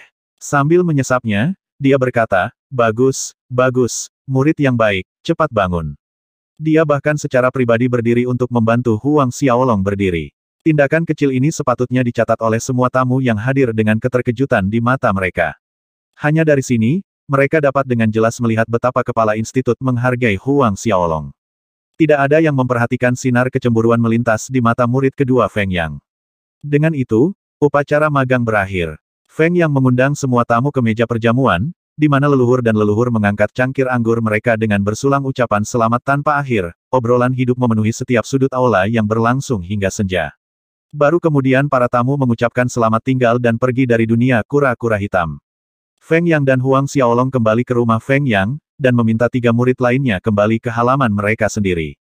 Sesampainya di Manor, Feng Yang memanggil Huang Xiaolong ke sisinya, memberinya cincin spasial, ini adalah hadiah ucapan selamat dari leluhur dan leluhur yang datang hari ini. Hadiah ucapan selamat dari leluhur dan leluhur. Terkejut, Huang Xiaolong melihat cincin spasial. Tepat ketika dia ingin menolak, tuannya melemparkan kepalanya ke belakang dan tertawa.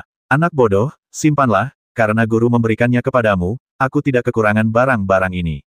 Huang Xiaolong hanya bisa menurut. Menonton Huang Xiaolong menyingkirkan cincin spasial, Feng yang menambahkan, dari apa yang dikatakan leluhur Guduk hari ini di aula besar, sepertinya dia sangat yakin bahwa Guduk Leng akan dapat mempraktekkan keterbatasan Dewa Soliter ke lapisan ke-100 dalam waktu tiga tahun. Waktu. Pada saat itu, Guduk Leng pasti akan menjadi ancaman. Suaranya mengandung kekhawatiran terhadap Huang Xiaolong. Huang Xiaolong meyakinkan Feng Yang, Tuan, yakinlah, murid Anda akan bekerja keras untuk menerobos ke alam dewa dalam tiga tahun ini. Feng Yang mengangguk, selain Guduk Leng, kamu juga harus berhati-hati dengan Wang Biaoyuan itu. Saya menerima berita bahwa anak itu menemukan sepotong esensi logam murni dan dia dalam latihan tertutup, menyempurnakannya saat ini juga. Tiga tahun kemudian, dia juga kemungkinan besar akan menantangmu.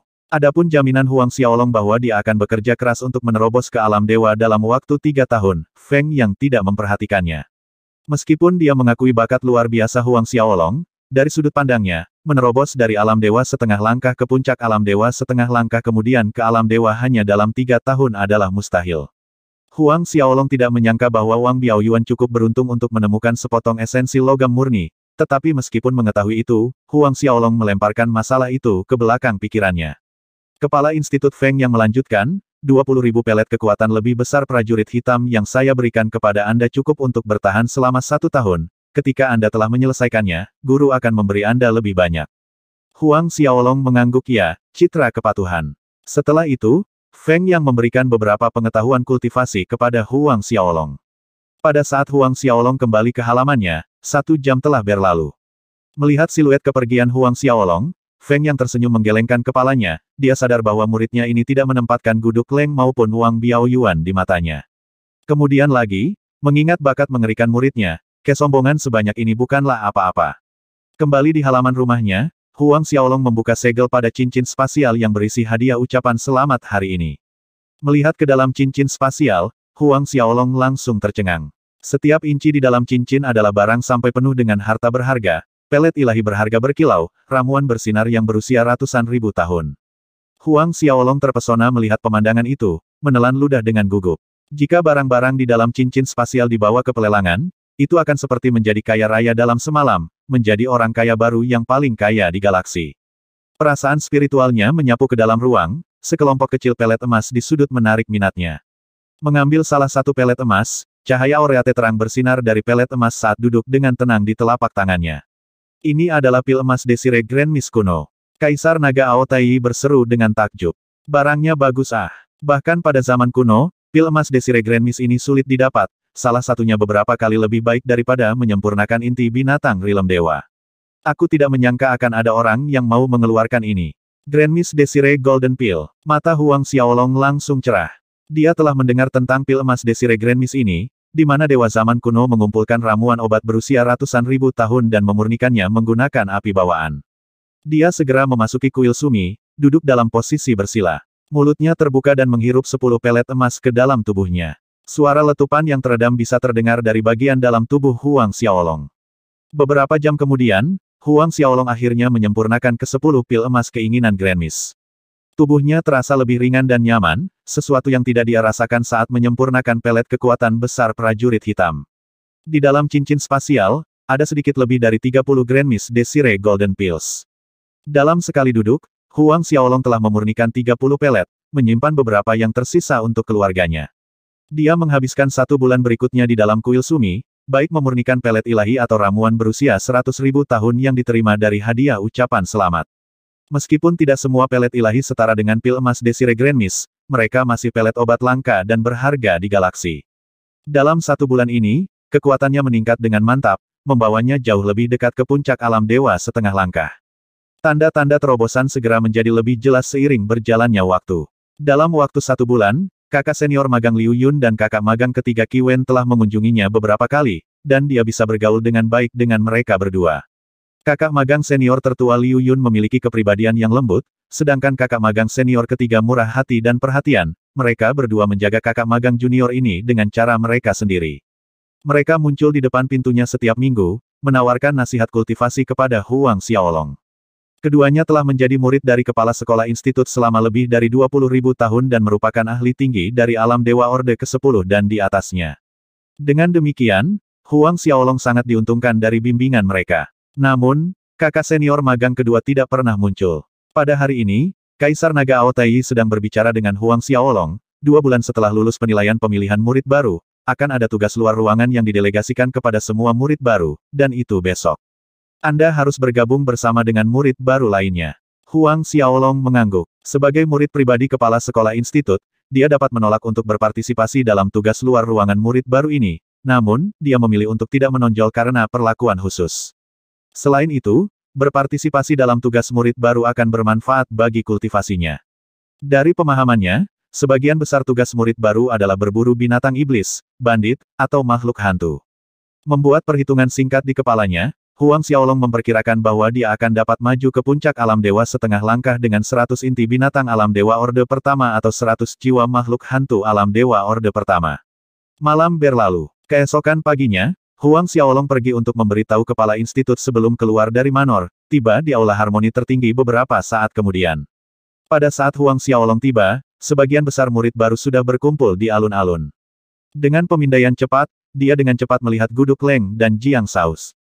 Sejujurnya, dia terkejut melihat mereka berdua di sini, karena dia tidak pernah menyangka mereka juga akan berpartisipasi dalam tugas murid baru ini. Berdasarkan identitas dua orang ini, mereka tidak perlu berpartisipasi jika mereka tidak tertarik. Seiring waktu berlalu, semakin banyak murid baru tiba di alun-alun. Ini Wang Biaoyuan. Seseorang tiba-tiba berteriak. Tatapan Huang Xiaolong membuntuti di belakang kerumunan, jatuh ke sosok yang terbang dengan kecepatan sangat tinggi dari jauh, bersiul melalui angin, meninggalkan ekor api emas di belakangnya. Orang ini tidak lain adalah Wang Biaoyuan. Dalam hitungan detik, Wang Biaoyuan sudah tiba di depan kerumunan murid baru saat dia turun ke alun-alun. Ketika kakinya menyentuh trotoar, rasanya seperti ribuan katil logam berat jatuh, orang bisa merasakan tanah bergetar di bawah kaki mereka. Saat kakinya menyentuh tanah, Wang Biaoyuan menatap dingin ke arah Huang Xiaolong sebelum membuang muka tanpa sepatah kata pun. Huang Xiaolong memperhatikan bahwa temperamen Wang Biaoyuan hampir tidak dapat dianggap telah tumbuh lebih stabil, dengan auranya yang lebih terkontrol, berbeda dari tiran arogan yang memancarkan aura tajam dua bulan lalu.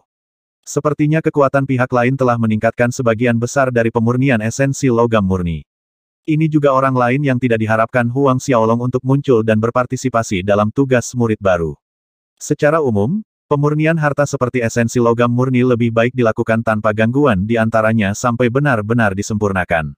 Berhenti di antara keduanya bisa sangat mengurangi manfaatnya. Tidak butuh waktu lama bagi seratus murid baru untuk berkumpul. Ketika semua hadir, Penatua Zhang Tianchuan akhirnya muncul di depan mereka. Dia mengawasi putaran tugas murid baru ini. Berdiri di depan alun-alun, mata Zhang Tianchuan menyapu wajah-wajah baru ini, berhenti sedetik lebih lama pada Huang Xiaolong dengan sedikit anggukan dan senyum tipis. Aku akan mengawasi tugas murid baru putaran ini. Nanti, kita akan menuju ke dunia mayat hidup untuk berburu makhluk hantu. Zhang Tianchuan melanjutkan, setelah kita tiba di dunia mayat hidup, semua orang harus memperhatikan keselamatan mereka, makhluk hantu di sana tidak sama dengan yang ada di bintang diput. Makhluk hantu di dunia mayat hidup ini memiliki kekuatan pemulihan yang luar biasa, membuatnya jauh lebih sulit untuk membunuh mereka. Zhang Tianchuan mengingatkan semua orang hal-hal yang perlu mereka perhatikan selama tugas. Tentu saja, ada hadiah untuk setiap tugas yang diambil, termasuk yang ini. Namun, hanya untuk tiga tempat teratas. Huang Xiaolong mengingat semua yang diingatkan Zhang Tianchuan untuk mereka perhatikan. Karena Zhang Tianchuan bersusah payah untuk mengingatkan mereka, mengingat itu lebih baik daripada tidak mengetahuinya. Beberapa saat kemudian, Zhang Tianchuan memimpin kelompok itu ke barisan transmisi di alun-alun bintang utara dan memulainya. Kilatan cahaya muncul, dan setelah merasa seolah-olah alam semesta terbalik, mereka tiba di gurun yang suram dan tandus. Mengamati sekeliling mereka, gurun tandus tampaknya tidak memiliki tepi, pasir kering berserakan melintasi bukit pasir. Di atas selubung pasir, tinggi di langit, ada genangan energi hitam yang memancarkan bau busuk dan aura kematian. Ini adalah dunia mayat hidup. Suara Zhang Tianchuan terdengar di telinga semua orang, saya harap Anda semua ingat apa yang saya katakan. Kami akan berkumpul di susunan transmisi ini dalam waktu satu bulan. Sekarang, pergi dan lakukan tugasmu sesuai dengan itu. Tepat ketika suara Zhang Tianchuan jatuh, Guduk Leng, Wang Biaoyuan, Jiang Saus, Su Shaoxing, dan yang lainnya menghilang dari tempat kejadian dalam sekejap. Saat Guduk Leng, Wang Biaoyuan, dan siluet lainnya menghilang dari lokasi susunan transmisi, Huang Xiaolong juga bergerak. Huang Xiaolong sebenarnya acuh tak acuh mengambil tempat pertama dalam tugas murid baru ini. Baginya, yang paling penting sekarang adalah maju ke puncak alam dewa setengah langkah. Dengan embrio spiritual bawaan, selama dia bisa mencapai puncak alam dewa setengah langkah, menerobos ke alam dewa adalah hal yang mudah. Tiga hari kemudian, Huang Xiaolong melayang di udara di atas lembah, kerutan dalam terukir di dahinya. Dalam tiga hari terakhir, sebagian besar makhluk hantu yang dia temui adalah alam dewa setengah langkah atau alam dewa setengah langkah puncak. Jumlah makhluk hantu alam dewa terlalu rendah untuk memenuhi harapan Huang Xiaolong. Dalam tiga hari, dia hanya berhasil membunuh tidak lebih dari 20 sesuatu. Rata-rata bahkan tidak 10 hari, yang membuat Huang Xiaolong tertekan. Jika segala sesuatunya terus bergerak pada tingkat ini, dia akan membuang 10 hari sebelum dia bisa maju ke puncak alam dewa setengah langkah. 10 hari. Huang Xiaolong bergumam. Durasi tugas murid baru adalah satu bulan, dikurangi sepuluh hari yang diperlukan untuk mencapai puncak setengah langkah alam dewa, hanya dua puluh hari yang tersisa. Sepertinya aku hanya bisa menerobos ke alam dewa ketika aku kembali. Memurnikan embrio spiritual bawaan untuk menerobos ke alam dewa bukanlah sesuatu yang bisa dilakukan dalam sepuluh hari atau setengah bulan. Oleh karena itu, dia tidak punya pilihan lain selain menunggu setelah kembali ke institut sebelum menyempurnakan embrio spiritual bawaan. Sepuluh hari berlalu dalam sekejap mata. Tangan ditekuk seperti cakar, Huang Xiaolong menghancurkan makhluk hantu alam dewa yang menyerangnya. Mulutnya terbuka dan menghirup, menelan jiwa makhluk hantu itu ke dalam tubuhnya, dan menjalankan fakta perbuatan darah untuk memurnikan jiwanya. Tepat ketika Huang Xiaolong selesai memurnikan jiwa pembunuhan terbarunya, tubuhnya tiba-tiba bergidik. Suara renyah rendah terdengar di dalam tubuhnya, diikuti oleh gelombang energi yang meledak di tubuhnya. Sukacita membanjiri hatinya alam dewa setengah langkah puncak. Akhirnya, dia berada di puncak alam dewa setengah langkah. Beberapa saat kemudian, Huang Xiaolong menekan kegembiraan di hatinya, mengeluarkan token tugas murid baru. Dalam 10 hari terakhir, dia tidak memperhatikan poin yang dicatat, oleh karena itu dia tidak tahu apa peringkatnya saat ini. Tempat ketujuh, 683,21 juta poin. Ketika seberkas kesadarannya tenggelam ke dalam token kecil itu, sebuah pesan muncul di benaknya. Tempat ketujuh, masih tidak terlalu buruk, pikir Huang Xiaolong. Dia telah fokus untuk berburu makhluk hantu alam dewa, sesekali bergerak ketika dia menemukan alam dewa setengah langkah dan puncak setengah langkah. Meski begitu, bisa menempati peringkat ketujuh lebih baik dari yang dia duga. Asumsi terburuknya adalah bahwa seseorang mungkin telah menendangnya keluar dari sepuluh besar. Saat ini, Guduk Leng memerintah tempat pertama, namun kali ini Wang Biaoyuan memegang teguh di tempat kedua, sedangkan Jiang Saus berada di urutan ketiga. Sekarang dia telah mencapai tujuan utamanya dari alam dewa setengah langkah puncak, sudah waktunya untuk keluar semua. Huang Xiaolong melompat keluar, energi esensi sejati dalam dantiannya berputar, menciptakan lapisan api esensi sejati di permukaan kulitnya yang terus mengembang, menyebar. Api esensi sejati mengubah lingkungan sekitarnya menjadi lautan api, membakar setiap makhluk hantu yang terperangkap dalam nyala api yang menyala-nyala. Terhadap makhluk hantu ini, metode yang paling efektif adalah api esensi sejatinya, menyebabkan Huang Xiaolong menyingkirkan keterampilan pedang Asura atau keterampilan pertempuran lainnya dalam hal ini. Waktu berlalu, dan setengah bulan berlalu. Huang Xiaolong, yang awalnya berada di tempat ketujuh mulai mengejar dengan kecepatan tinggi, seperti dahak cipta Jafu dari penilaian pemilihan murid, mengambil alih tempat pertama. Guduk Leng turun ke posisi kedua. Sepuluh hari sebelumnya, Guduk Leng, Wang Biaoyuan, Jiang Saus, dan yang lainnya diam-diam gembira dengan peringkat Huang Xiaolong yang kurang ideal. Tidak ada yang menyangka bahwa dalam waktu setengah bulan, orang ini akan melakukan trik yang sama seperti yang dia lakukan selama penilaian, menyalip mereka satu per satu sampai dia berdiri di posisi teratas. Di hari-hari berikutnya, tidak ada ketegangan. Terlepas dari bagaimana Guduk Leng mencoba mempersempit perbedaan poin, itu hanya tumbuh semakin lebar dan semakin jauh sampai waktu yang dialokasikan satu bulan berlalu dan mereka diminta untuk berkumpul di susunan transmisi. Seperti yang diharapkan, tempat pertama sekali lagi pergi ke Huang Xiaolong. Ketika Zhang Tianchuan memimpin para murid kembali ke dunia kura-kura hitam melalui susunan transmisi, Wang Biaoyuan dan Jiang Saus tidak terlihat terlalu baik. Wang Biaoyuan khususnya. Dia telah mengikuti peta harta karun dan menemukan esensi logam murni dan telah berlatih tertutup selama dua bulan sebelum ini untuk memperbaiki esensi logam murni dan dia sangat diuntungkan, melihat peningkatan besar dalam kekuatannya. Satu-satunya motivasi Wang Biaoyuan dalam berpartisipasi dalam tugas murid baru adalah untuk menekan pusat perhatian Huang Xiaolong sedikit, tetapi siapa yang tahu bahwa perbedaan poin kali ini bahkan lebih besar dari yang terakhir. Zhang Tianchuan membawa semua orang kembali ke aula harmoni tertinggi di mana dia memberikan hadiah untuk tiga tempat teratas. Wang Biaoyuan menyaksikan dengan ekspresi muram saat Huang Xiaolong naik untuk menerima hadiah tempat pertama. Pang, nikmati ini selagi ada. Tunggu sampai penilaian murid baru berikutnya, mari kita lihat apakah kamu masih bisa bertindak sombong ini. Saat memberikan hadiah kepada Huang Xiaolong, Zhang Tianchuan mengucapkan kata-kata yang sopan dan ramah. Hampir setengah jam kemudian, Zhang Tianchuan membubarkan para murid dari alun-alun. Meninggalkan aula harmoni tertinggi, Huang Xiaolong langsung menuju ke kediaman tuannya dan terjun ke dalam kuil sumi. Di dalam kuil sumi, Huang Xiaolong memerah karena kegembiraan menatap embrio spiritual bawaan di pusat formasi sepuluh Buddha, jantungnya berdegup kencang. Akhirnya, waktunya telah tiba untuk memurnikan embrio spiritual bawaan ini. Setiap hari, dia hanya bisa melihat tetapi tidak bisa makan, hatinya sudah gatal, lama menunggu hari ini tiba. Bajingan kecil, jangan lupa, embrio spiritual bawaan ini telah membentuk kecerdasannya sendiri. Kamu harus sangat berhati-hati saat memperbaikinya nanti. Suara Kaisar Naga Aotai mengingatkan Huang Xiaolong, jika kamu gagal, kesadarannya akan merebut tubuhmu.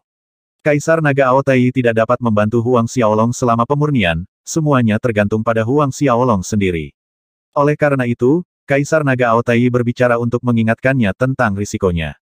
Huang Xiaolong mengangguk, menenangkan kegembiraannya dan tampak bermartabat. Mengambil napas dalam-dalam untuk menenangkan emosinya, dia mendekati embrio spiritual bawaan, duduk bersila di seberangnya. Ketika emosinya seperti permukaan danau yang tenang, Huang Xiaolong mulai menjalankan taktik Asura, membuka segel energi embrio sedikit demi sedikit. Sesaat berlalu dan Huang Xiaolong membuka mulutnya, menarik napas dalam-dalam. Pada saat itu juga, jumlah energi spiritual yang mengerikan yang terkandung di dalam embrio mengalir keluar seperti tsunami ke dalam tubuhnya. Bahkan fisik naga sejatinya bergetar dengan aliran energi yang tiba-tiba dari embrio spiritual bawaan, menyebabkan rasa sakit yang menusuk di seluruh tubuh, yang mengejutkan Huang Xiaolong. Sejak dia mulai mengolah seni perisai pelindung naga harta karun, membentuk formasi diagram di dalam tubuhnya, terlepas dari berapa banyak pelet ilahi atau inti binatang yang dia sempurnakan pada satu waktu, rasa sakit adalah hal terjauh.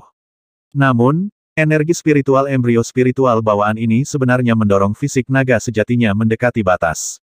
Huang Xiaolong dengan cepat fokus, menjalankan siklus taktik Asura demi siklus saat rasa sakit yang berdenyut menembusnya sementara dia terus menyerap jumlah energi spiritual yang mengerikan. Lagi dan lagi, hanya beberapa jam kemudian rasa sakitnya mereda. Meskipun begitu, Huang Xiaolong tidak berani bersantai sedetik pun, atau membuat kesalahan, karena dia sangat merasakan bahwa resistensi kesadaran embrio telah tumbuh lebih kuat, lebih ganas. Jika bukan karena segel kuat Kaisar Naga Aotai, itu mungkin akan terbang keluar dari batu giok. Suatu hari kemudian, tidak hanya perjuangan embrio tidak berkurang, itu bahkan lebih ganas. Semakin sengit perjuangannya, semakin cepat energi spiritual kekerasan mengalir ke Huang Xiaolong, melebihi kapasitas menyerap seni perisai pelindung naga harta karun saat ini. Retakan mulai muncul di fisik naga sejati Huang Xiaolong. 550. Garis-garis berdarah muncul di kulit Huang Xiaolong mirip beberapa naga darah terukir di dagingnya, pemandangan mengerikan yang akan membuat siapa pun berdebar. Tapi, tepat saat garis darah seperti naga ini muncul, segudang cahaya kemasan bersinar melalui celah-celah kulitnya dari dalam. Sedikit demi sedikit, garis merah menghilang saat tubuhnya pulih. Sebelum seseorang bisa bernapas lega, di detik berikutnya, kulitnya terbelah sekali lagi. Dan begitulah berulang, retak, perbaiki, retak, Perbaiki, selama tiga hari penuh. Tiga hari. Dalam tiga hari ini, rasa sakit yang dialami mirip dengan jiwanya yang mengalami kram yang buruk. Ini menyakitkan satu juta kali lebih banyak daripada saat tubuhnya meledak dan dibangun kembali oleh mutiara naga. Seseorang tidak dapat membayangkan rasa sakit yang luar biasa dari tubuhnya yang tergantung di ambang meledak setiap detik, namun rasa sakit yang menyiksa ini berulang kali dan lagi tanpa akhir yang terlihat. Pada satu titik, Ketika Huang Xiaolong merasa seperti dia hampir tidak bisa menahan satu detik lagi, seolah-olah dia kehilangan akal sehatnya karena rasa sakit, fisik naga sejatinya yang terlalu banyak akhirnya berhenti retak. Sejak saat itu, terlepas dari seberapa keras kesadaran embrio spiritual bawaan berjuang dan melawan, menabrakkan energi spiritualnya ke tubuh Huang Xiaolong, fisik naga sejatinya tetap stabil seperti batu. Saat formasi diagram seni perisai pelindung naga harta menelan energi spiritual yang melimpah, untaian hukum ruang dan waktu juga diserap olehnya, mentransfernya ke Huang Xiaolong. Di atas lautan jiwa Huang Xiaolong, cahaya berkilau memenuhi setiap sudut. Hukum ruang dan waktu bergoyang seperti benang halus, tumbuh lebih kuat dan lebih lama dengan setiap kilau. Pada awalnya, Benang hukum ruang dan waktu ini seperti benang wol halus berukuran 2 hingga 3 cm, tetapi seiring berjalannya waktu, benang hukum ruang dan waktu ini semakin tebal, semakin panjang. Setelah setengah tahun berlalu, benang hukum ruang dan waktu itu setebal benang merah dan panjangnya 10 cm. Setengah tahun menyempurnakan embrio spiritual bawaan membawa transformasi yang tak terbayangkan ke Laut Qi dan Dantian Huang Xiaolong. Pertempuran Qi di Laut Qi sekarang menjadi cairan emas dengan viskositas tinggi, bersemangat dan kuat, bahkan laut kinya tampak bergetar seolah-olah memegang matahari yang cerah yang akan meledak. Dan di dalam ruang dantiannya, sepuluh manik-manik mengkilap yang terbentuk dari energi esensi sejatinya berkilauan, naga ilahi primordial di dalam setiap manik tampak seperti akan melepaskan diri dari manik-manik. Perlawanan embrio spiritual bawaan telah berhenti sama sekali sekarang. Tiba-tiba, Suara beriak datang dari tubuh Huang Xiaolong saat dia duduk tak bergerak dalam posisi bersila di tengah kuil sumi, diikuti oleh sinar krepuskular yang menyilaukan. Dia tampak gemetar, merasa seolah-olah pertempuran ki di dalam laut kinya telah menembus bendungan raksasa, bergegas ke meridian misterius. Secara bersamaan, sepuluh naga ilahi di dalam sepuluh manik-manik di dalam dantiannya terbang keluar, manik-manik itu menghilang. Di luar, fisik naga sejati Huang Xiaolong bersinar seperti batu giok berkilau, membiaskan cahaya.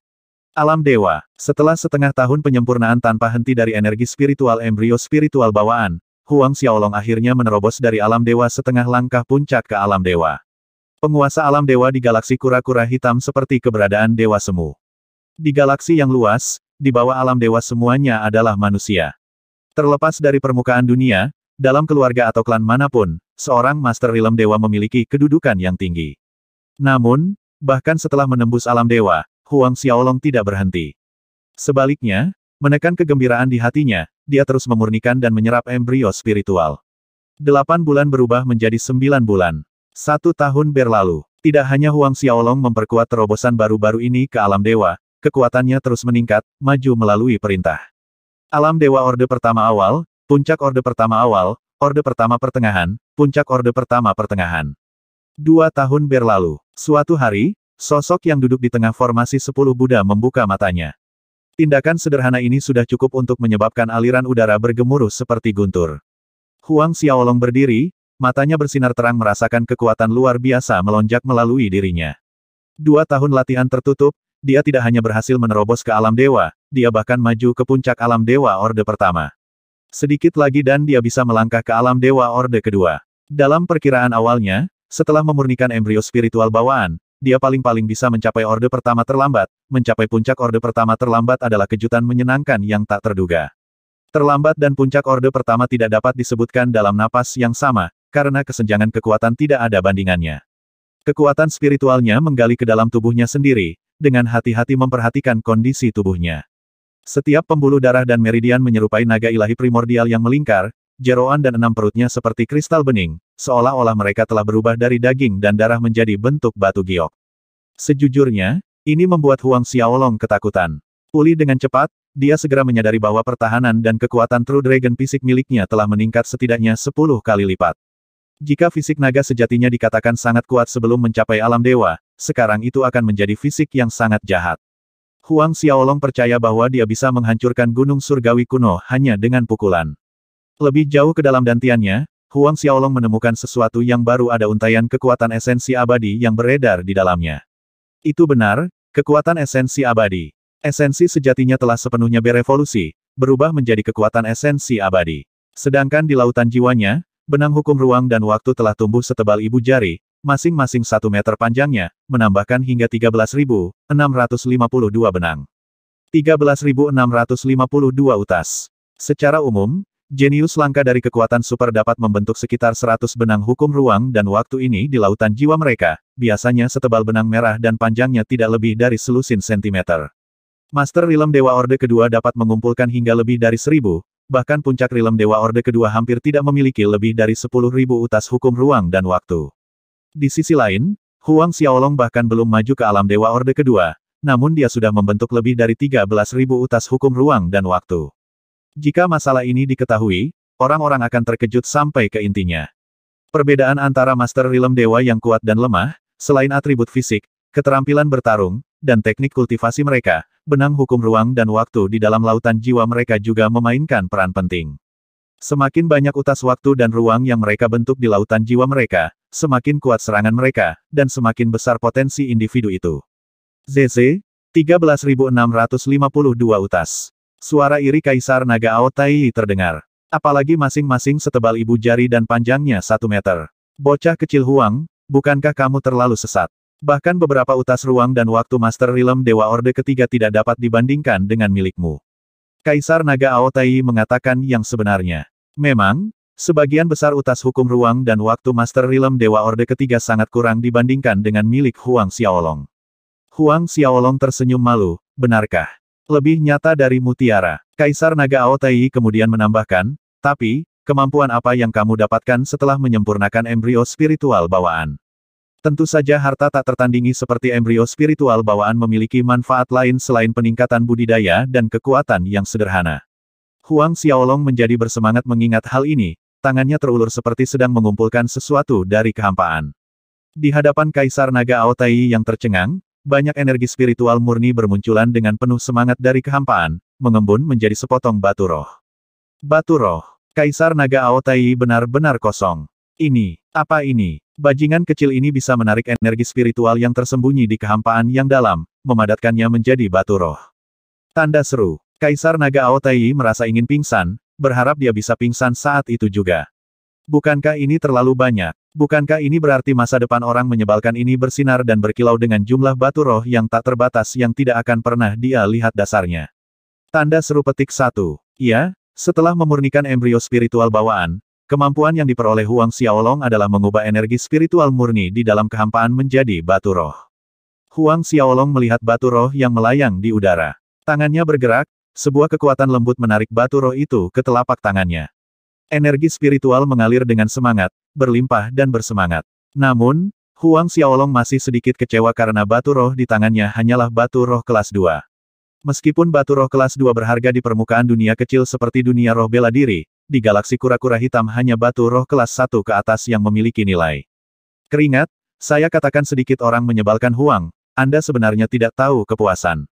Merasakan pikiran Huang Xiaolong, Kaisar Naga Aotai marah, ini adalah pertama kalinya kamu menggunakan kemampuan ini dan kamu sudah dapat memadatkan batu roh kelas 2. Karena kemampuanmu ini terus tumbuh lebih kuat seiring dengan kekuatanmu, memadatkan batu roh kelas 1 hanya masalah waktu. Awan kekecewaan langsung menghilang dari wajah Huang Xiaolong. Itu benar, itu baru pertama kalinya dia menguji kemampuan ini, dia dengan mudah memadatkan batu roh kelas 2 dari kehampaan begitu saja. Saat dia berlatih lebih banyak di masa depan, kemampuan ini akan tumbuh lebih kuat.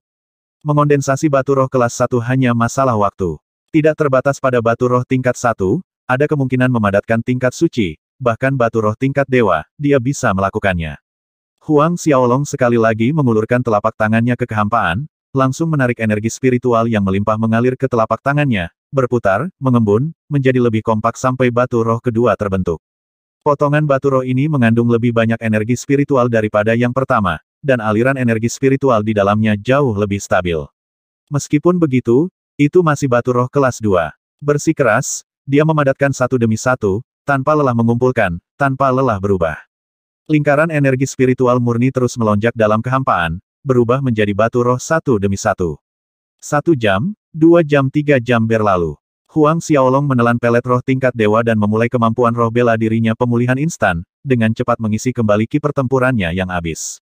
Meskipun tampaknya mudah baginya untuk memadatkan energi spiritual menjadi batu roh, jumlah ki pertempuran yang dibutuhkan dalam prosesnya adalah jumlah yang mengerikan.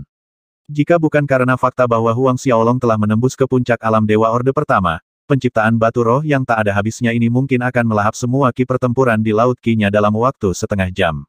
Setelah memulihkan ki pertempurannya, Huang Xiaolong terus memadatkan lebih banyak batu roh. Segera, hari itu telah berlalu. Kecepatan pengumpulan dan pemadatan energi spiritual Huang Xiaolong menjadi lebih cepat.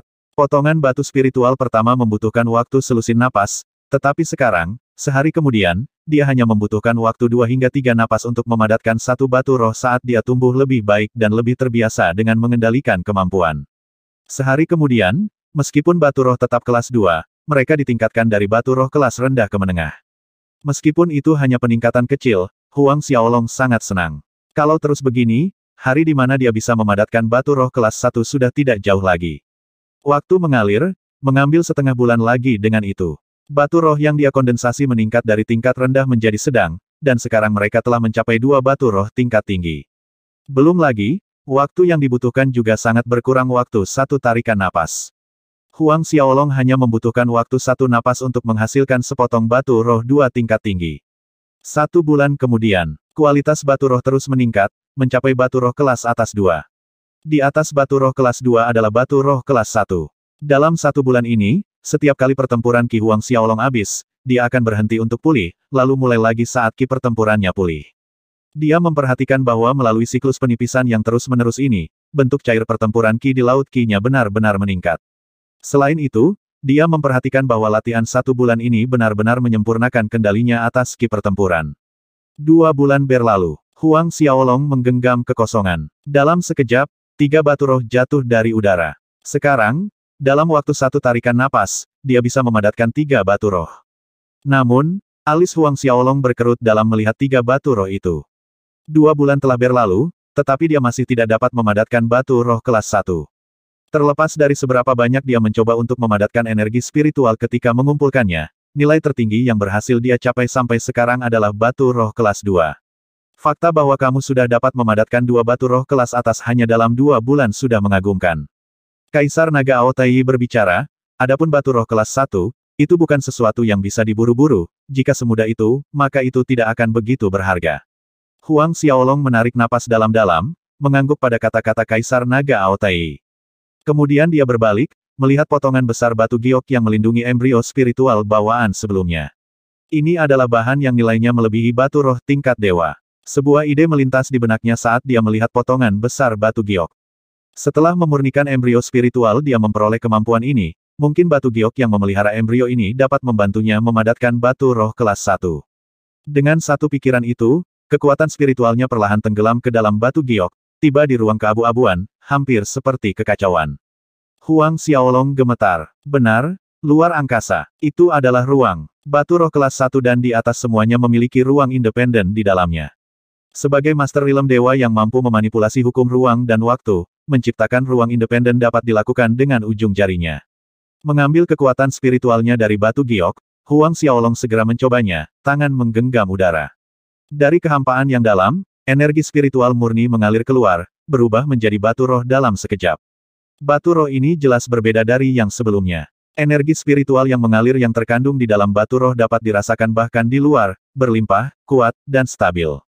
Tidak sebanyak sehelai rambut energi spiritual bocor saat melayang di udara. Seperti kristal bening, memancarkan cahaya memikat. Batu roh kelas 1. Kaisar Naga Aotai berseru kaget ketika dia melihat batu roh terbaru ini. Beberapa saat yang lalu, dia menasihati Huang Xiaolong bahwa itu tidak bisa terburu-buru dan pada saat berikutnya dia sudah memadatkan batu roh kelas 1. Huang Xiaolong membuka telapak tangannya, sebuah kekuatan melilit batu roh dan terbang ke telapak tangannya.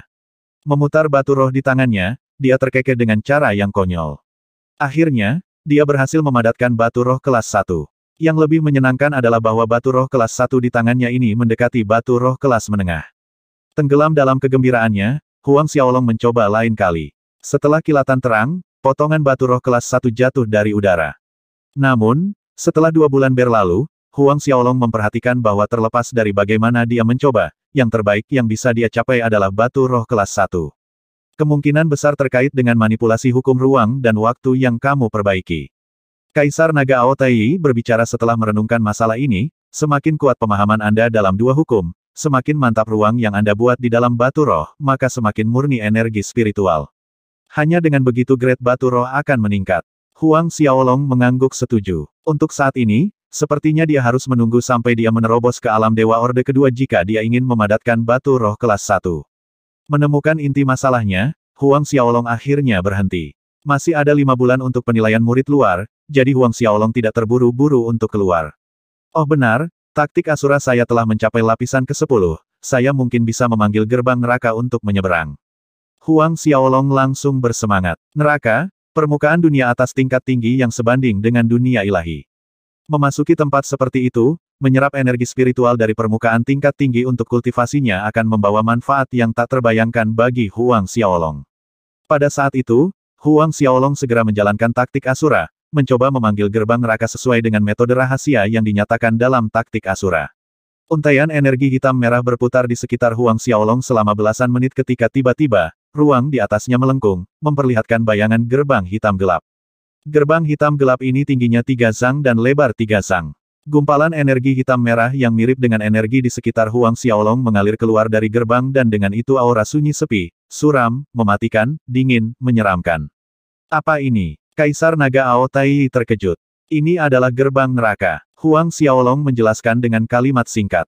Ketika Kaisar Naga Ao Tai mengetahui bahwa taktik Asura Huang Xiaolong dapat memanggil pintu gerbang menuju neraka setelah mencapai tingkat ke-10, Kaisar Naga Ao Tai ternganga kagum. Bukankah taktik Asura ini melanggar tatanan alam, untuk dapat menghubungkan neraka dengan permukaan dunia yang lebih rendah? Apakah ada teknik kultivasi yang sesat di alam semesta ini? Mungkin, bahkan dunia ilahi belum pernah mendengar teknik seperti ini.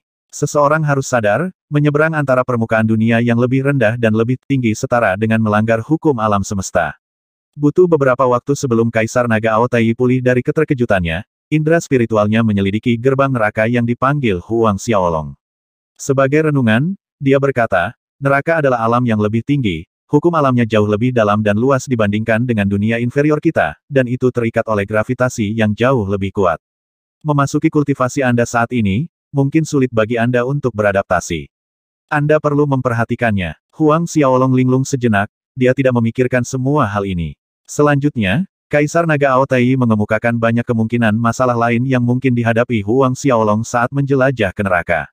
Meskipun Kaisar Naga Aotai belum pernah ke neraka, dia dulunya adalah Master Realm Haigat lebih dari seratus ribu tahun yang lalu, cakupan pengetahuannya jauh melebihi Huang Xiaolong.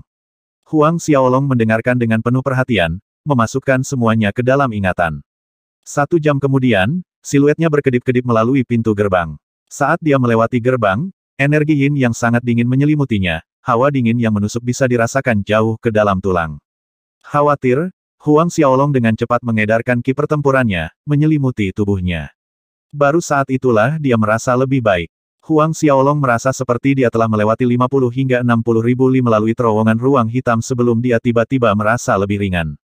Adegan di depannya berubah saat dia melangkah ke dunia suram yang tak berujung. Dunia ini tandus, sunyi, suram, dan dingin seperti semua kehidupan tersedot keluar darinya. Sebelum Huang Xiaolong bisa mengenali sekelilingnya, tekanan luar biasa menyerbu ke arahnya dari segala arah. Bagi Huang Xiaolong, itu seperti gunung besar yang tidak dapat diatasi jatuh di punggungnya, begitu berat sehingga dia bahkan tidak bisa berdiri tegak. Kedua kakinya dibebani seperti dibelenggu dengan sejuta kati berat, bahkan mengangkat satu kaki pun sulit. Selain itu, Huang Xiaolong menemukan bahwa dia hampir tidak bisa bernapas dengan benar. Perasaan ini menyerupai manusia yang dilemparkan ke dasar laut yang dalam.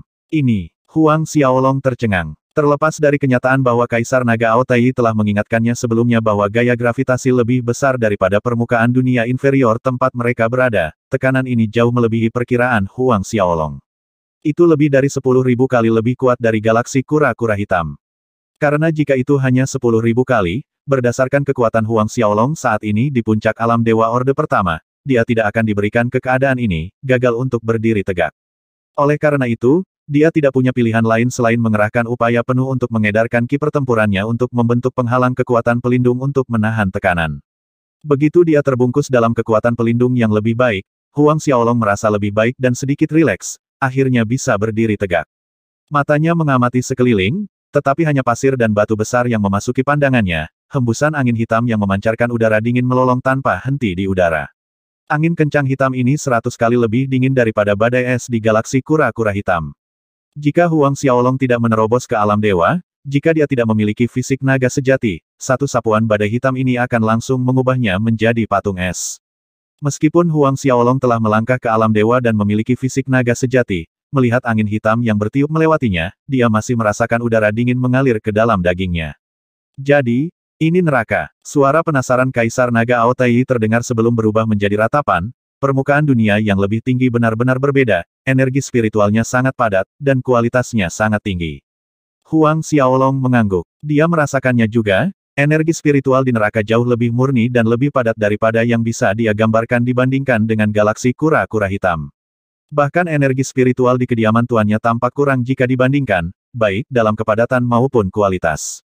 Jika energi spiritual di galaksi kura-kura hitam adalah kelas 2, maka energi spiritual neraka pasti kelas ilahi. Singkatnya, galaksi kura-kura hitam lebih rendah.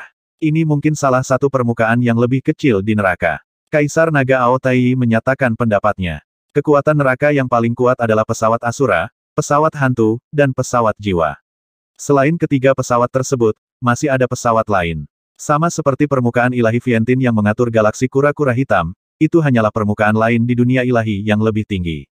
Neraka dan dunia ilahi serupa dalam hal cakrawala tak terbatas mereka. Huang Xiaolong menyebarkan indera spiritualnya hanya untuk menemukan bahwa indera spiritualnya mendapat perlawanan yang kuat, membatasi dia hingga radius 30 li.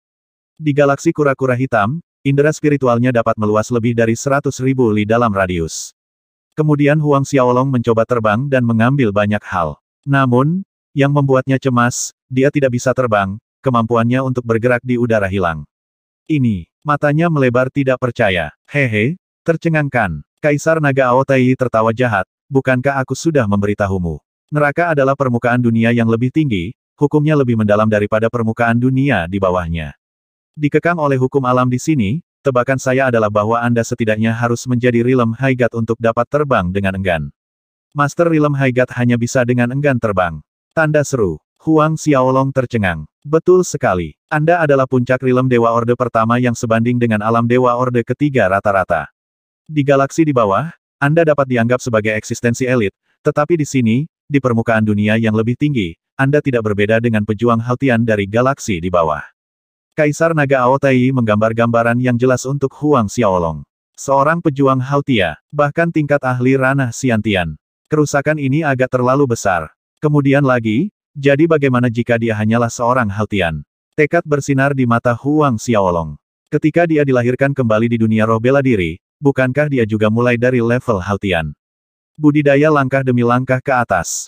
Bahkan jika dia mencapai permukaan dunia yang lebih tinggi seperti neraka di masa depan, Huang Xiaolong sangat yakin dia bisa naik ke puncak, menjadi eksistensi yang kuat. Dia menarik napas dalam-dalam. Sekarang, bagaimanapun, karena dia tidak bisa terbang, hanya ada metode yang paling primitif berjalan. Huang Xiaolong mengangkat kakinya dan maju selangkah. Menampilkan keterampilan gerakan, kecepatan Huang Xiaolong tidak terlalu lambat, melintasi hampir 100 li satu jam kemudian. Namun, 100 li jauhnya dari titik awal, pemandangannya tidak berubah. Huang Xiaolong masih dikelilingi oleh pasir dan debu, dan tidak ada yang lain. Sepanjang jalan, dia bahkan tidak menemukan tanaman, belum lagi orang lain. Kami mungkin berada di daerah gurun. Dengan kecepatanmu, kita bahkan mungkin tidak bisa keluar dari gurun ini dalam waktu setengah tahun. Kaisar Naga Aotai berkata, lupakan orang lain, tujuan Anda datang ke sini adalah untuk meminjam energi spiritual di neraka untuk berkultivasi.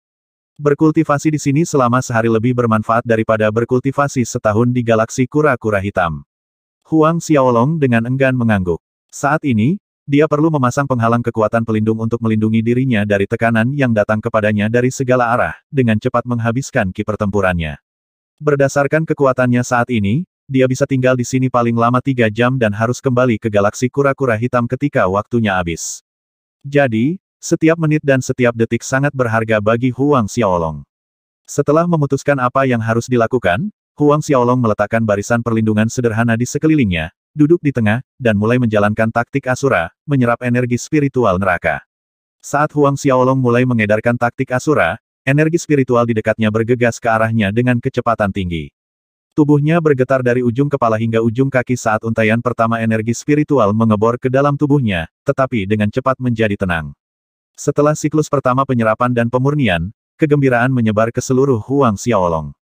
Energi spiritual di neraka ini bahkan lebih murni dari yang dia bayangkan, dapat dikatakan bahwa energi spiritual yang dia serap sekarang membawa hasil yang lebih baik daripada pil emas Desire Grand Miss. Selain itu, dia memperhatikan bahwa energi spiritual di sini sebenarnya bermanfaat dalam meredam fisik naga sejatinya. Formasi diagram seni perisai pelindung naga harta karun dengan rakus menyerap energi spiritual permukaan dunia yang lebih tinggi ini, lalu mentransfernya ke Huang Xiaolong. Pada saat yang sama, organ internalnya menjadi semakin kuat. Dua jam berlalu, Huang Xiaolong berhenti menjalankan teknik kultivasinya dan berdiri. Hasil berkultivasi di sini selama dua jam melampaui upaya satu bulannya yang biasa di galaksi kura-kura hitam. Ketika kesadarannya tenggelam ke dalam tubuhnya, dia melihat bahwa setelah menyerap energi spiritual tingkat tinggi ada beberapa perubahan pada dantiannya dan Asura God Force di laut Qi-nya. Meskipun sangat kecil, Huang Xiaolong masih memperhatikannya. Jika dia bisa berkultivasi di lingkungan seperti itu untuk jangka waktu yang lama, Asura God Force-nya pasti bisa berevolusi. Huang Xiaolong menarik napas dalam-dalam saat dia merasakan peningkatan tekanan yang datang dari segala arah. Memanggil gerbang dengan cepat, dia terbang melalui lorong, kembali ke galaksi kura-kura hitam. Kembali di galaksi kura-kura hitam, Huang Xiaolong diliputi kelelahan, seperti dia akan pingsan dalam sekejap. Dia dengan cepat duduk dalam pose meditasi, menelan pelet penyembuhan dan memulai kemampuan pemulihan instannya untuk mengisi kembali ki pertempurannya yang habis. Mediasi ini membawanya siang dan malam penuh sebelum dia merasakan God Force-nya kembali ke kondisi puncak. Huang Xiaolong terkejut. Di masa lalu, bahkan setelah pertempuran putus asa dengan orang lain di mana dia mengalahkan semua ki pertempurannya, begitu dia menggunakan kemampuan roh bela diri pemulihan instan, dibutuhkan kurang dari satu jam untuk kembali ke bentuk puncaknya. Tapi kali ini, dia benar-benar membutuhkan waktu seharian penuh. Namun, itu tidak mencegah Huang Xiaolong memanggil gerbang neraka lagi saat dia pulih, berlari ke sisi lain. Sekali lagi dia jatuh ke hamparan pasir yang tak berujung. Melihat sekeliling, Huang Xiaolong menentukan itu adalah lokasi yang sama di mana dia berkultivasi sebelumnya. Sesampainya, Huang Xiaolong tidak segera mulai berkultivasi, tetapi melakukan perjalanan ke depan selama satu jam sebelum berhenti untuk berkultivasi. Dua jam kemudian, dia kembali ke galaksi kura-kura hitam. Proses itu berulang, berubah menjadi rutinitas. Satu bulan kemudian, sepanjang bulan, setiap kali Huang Xiaolong menyeberang untuk berkultivasi di neraka, dia hanya akan kembali ke galaksi kura-kura hitam ketika ki pertempurannya habis untuk memulihkan diri, dan kemudian kembali lagi untuk berkultivasi.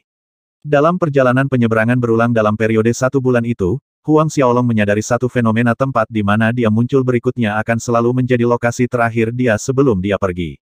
Yang membuat Huang Xiaolong frustrasi adalah kenyataan bahwa dia masih terjebak di padang pasir bahkan setelah satu bulan. Mungkin, seperti yang dikatakan Kaisar Naga Aotai, mengandalkan kecepatannya saat ini, bahkan jika dia bepergian tanpa henti selama setengah tahun, dia masih tidak akan bisa meninggalkan gurun tandus ini. Jadi, selain bukit pasir kering, Huang Xiaolong tidak menemukan makhluk hidup lain di neraka. Bahkan bukan tanaman. Dia kesal. Faktanya, ini mungkin bukan hal yang buruk. Kaisar Naga Aotai berbicara, dengan kekuatanmu saat ini, akan sangat berbahaya jika kamu bertemu dengan salah satu makhluk hidup di neraka. Huang Xiaolong mengangguk diam-diam, dia sangat menyadari fakta ini. Meskipun dia belum pernah melihat makhluk hidup lain di neraka, tidak sulit untuk menebak bahwa alam suci dan alam dewa adalah eksistensi terlemah. Setelah waktu itu, Huang Xiaolong tidak lagi mencoba meninggalkan padang pasir, dengan fokus menyerap energi spiritual tingkat tinggi dan berkultivasi. Dalam sekejap mata, Lima bulan berlalu. Dan lima bulan kultivasi ini, hasilnya lebih baik dari yang diperkirakan Huang Xiaolong. Lima bulan kultivasi di neraka ini bahkan lebih bermanfaat daripada dia berkultivasi di galaksi kura-kura hitam selama satu dekade atau lebih, mengkonsumsi pasokan pil emas Desire Grand Miss Desire yang tak terbatas. Setelah lima bulan, hanya sehari sebelum penilaian murid luar, Huang Xiaolong akhirnya maju ke alam Dewa Orde kedua. Itu benar, alam Dewa Orde kedua. Sejujurnya, Huang Xiaolong memiliki sedikit atau tidak ada peluang untuk maju ke alam Dewa Orde kedua sebelum penilaian murid luar, tetapi manfaat berkultivasi di lingkungan energi spiritual berkualitas tinggi neraka lebih besar dari yang dia bayangkan. Menyaksikan Huang Xiaolong maju ke alam Dewa Orde kedua, Kaisar Naga Aotai tidak bisa menahan diri untuk tidak menghela nafas secara dramatis, menekankan fakta bahwa Huang Xiaolong adalah orang aneh lebih dari sepuluh kali. Kemudian nada suaranya menjadi serius, besok penilaian murid luar. Jika Guduk Leng, Wang Biaoyuan, dan bocah-bocah itu tahu bahwa Anda sudah menjadi alam dewa orde kedua, mereka mungkin akan takut untuk konyol di tempat. Kata-kata Kaisar Naga Aotai tidak berlebihan. Meskipun penilaian belum dimulai, dia sudah bisa membayangkan adegan dan ekspresi pada Guduk Leng, Wang Biaoyuan, murid-murid lain, dan terutama kepala sekolah prajurit hitam Feng yang ketika mereka menyadari bahwa Huang Xiaolong telah mencapai alam dewa orde kedua. Orang harus ingat, tiga tahun lalu ketika Huang Xiaolong lulus penilaian murid baru, dia hanyalah alam dewa setengah langkah, bahkan bukan alam dewa setengah langkah puncak. Namun, tiga tahun kemudian, dia melonjak ke alam dewa orde kedua. Alam dewa setengah langkah, puncak alam dewa setengah langkah, alam dewa orde pertama awal, puncak alam dewa orde pertama awal, pertengahan orde pertama, puncak pertengahan orde pertama, akhir orde pertama, puncak akhir orde pertama, dan kemudian seseorang mencapai alam dewa orde kedua. Bahkan murid jenius milik kekuatan super lainnya hampir tidak bisa melibas dari alam dewa setengah langkah ke alam dewa orde kedua yang diberikan waktu 300 tahun. Huang Xiaolong terkekeh mendengarkan tindakan Kaisar Naga Aotai yang bersuara ringan. Mengikuti kecepatan kultivasinya saat ini, dalam tiga tahun lagi dia bisa maju ke alam dewa orde ketiga. Dalam sepuluh tahun, dia pasti bisa menerobos ke alam dewa orde keempat. Setelah menerobos ke alam dewa orde keempat, seseorang dianggap sebagai alam dewa tingkat menengah yang telah melewati garis pemisah yang penting. Ada pembudidaya yang terjebak pada titik ini sepanjang hidup mereka, tidak dapat menembus penghalang ke alam dewa tingkat menengah. Pada saat itu, status dan identitas Huang Xiaolong di seluruh galaksi kura-kura hitam akan dinaikkan ke prestis lain. Seorang Master Realm Dewa tingkat menengah, ke mana pun mereka pergi, termasuk kekuatan super dan keluarga, akan dengan mudah menerima perawatan yang setara dengan penatua. Huang Xiaolong keluar dari kuil Sumi.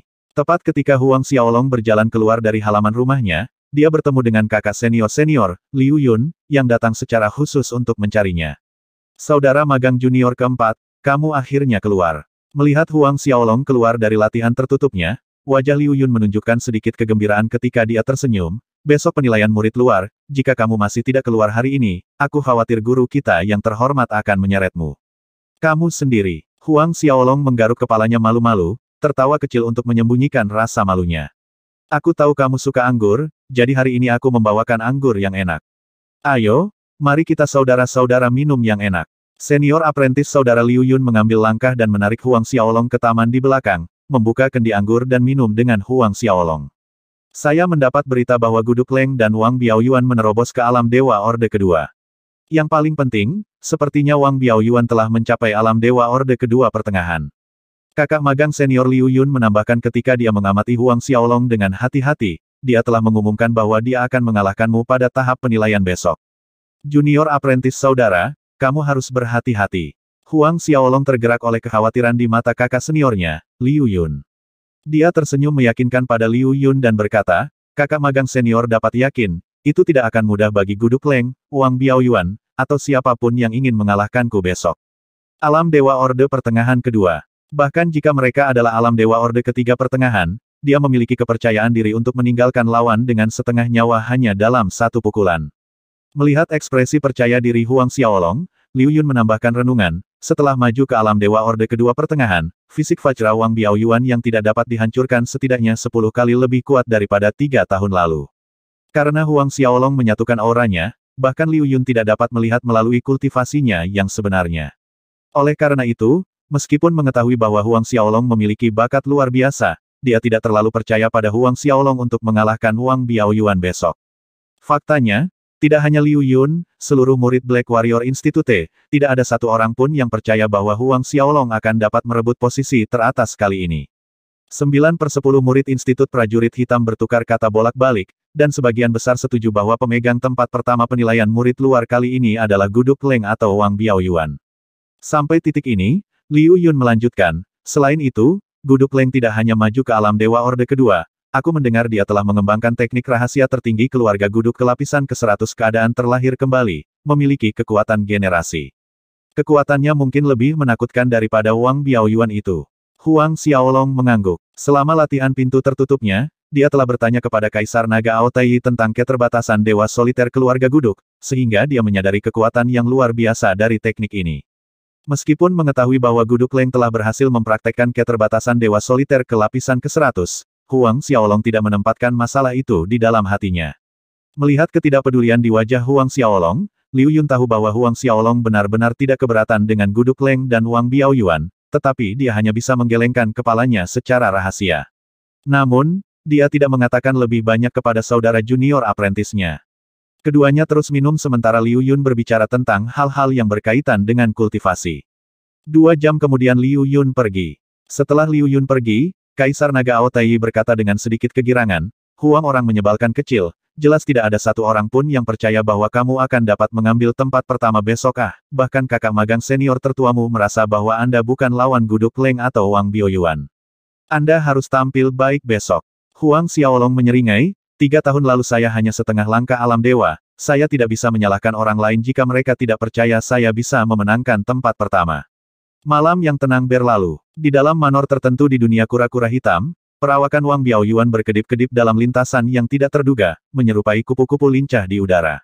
Beberapa saat kemudian, Wang Biaoyuan mendarat tanpa suara di tanah. Selamat kepada Tuan Muda karena telah mencapai tahap ke-9 dari teknik gerakan manuver fantasi kupu-kupu bunga. Murid luar Black Warrior Institute yang serupa dari keluarga Wang melangkah maju dengan senyum tersanjung. Dalam penilaian murid luar besok, tempat pertama pasti akan menjadi milik Tuan Muda. Wang Biaoyuan mengangguk puas, kepercayaan diri melonjak dari tubuhnya. Kedua tinjunya mengepal erat saat kilatan tajam berkedip di matanya. Huang Xiaolong, tunggu saja. Penghinaan dari tiga tahun lalu, saya akan membayarnya kembali seratus kali. Besok, di arena penilaian, aku ingin kamu berlutut di depanku di depan semua orang.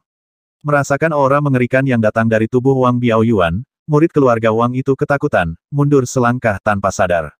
Bagaimana hal-hal yang saya perintahkan untuk Anda cari tahu? Wang Biaoyuan mengumpulkan aura yang keluar dari tubuhnya, menanyai murid itu. Murid keluarga Wang itu mendekat dengan hormat dan melaporkan, dalam tiga tahun ini, Huang Xiaolong telah berlatih tertutup di dalam rumah kepala sekolah institut, dia belum mengambil satu langkah pun. Oleh karena itu, bawahan ini tidak dapat mengetahui sejauh mana kekuatannya, namun, menurut penilaian bawahan ini, Terlepas dari bagaimana mereka memuji bakatnya yang menantang surga dan betapa pahitnya dia berkultivasi, dia tidak bisa lebih dari setengah langkah puncak. Alam Dewa, Wang Biaoyuan mengangguk setuju. Menurut pendapat bawahan ini, Tuan Muda mengalahkan Huang Xiaolong besok benar-benar akan menjadi masalah yang mudah. Kali ini, lawan sebenarnya Tuan Muda adalah Guduk Leng. Dari apa yang ditemukan oleh bawahan ini, bahwa Guduk Leng telah maju ke alam Dewa Orde kedua, apalagi, keterbatasan Dewa Soliternya sudah mencapai lapisan ke-100, jelas merupakan musuh yang tangguh. Murid keluarga Wang itu menambahkan. Wang Biaoyuan berkata, Guduk Leng itu benar-benar berhasil mengolah keterbatasan Dewa Soliter ke lapisan ke-100. Tapi, jadi apa, saya memiliki kepercayaan diri untuk mengalahkannya. Pada saat ini, murid luar lainnya juga sibuk mengasah pedang dan pisau mereka untuk bersaing mendapatkan kesempatan untuk masuk 10 besar, 3 besar, atau bahkan tempat pertama. Banyak murid luar dengan kultivasi 100 tahun yang berpartisipasi dalam penilaian sebelumnya berlomba-lomba untuk mendapatkan kesempatan yang sama untuk dipromosikan menjadi murid dalam, dan kekuatan murid luar ini menyaingi beberapa jenius murid dalam. Malam berlalu, memberi jalan pada terbitnya matahari di Cakrawala, mencerahkan langit yang gelap saat Institut Prajurit Hitam mulai ramai dengan dengungan energi.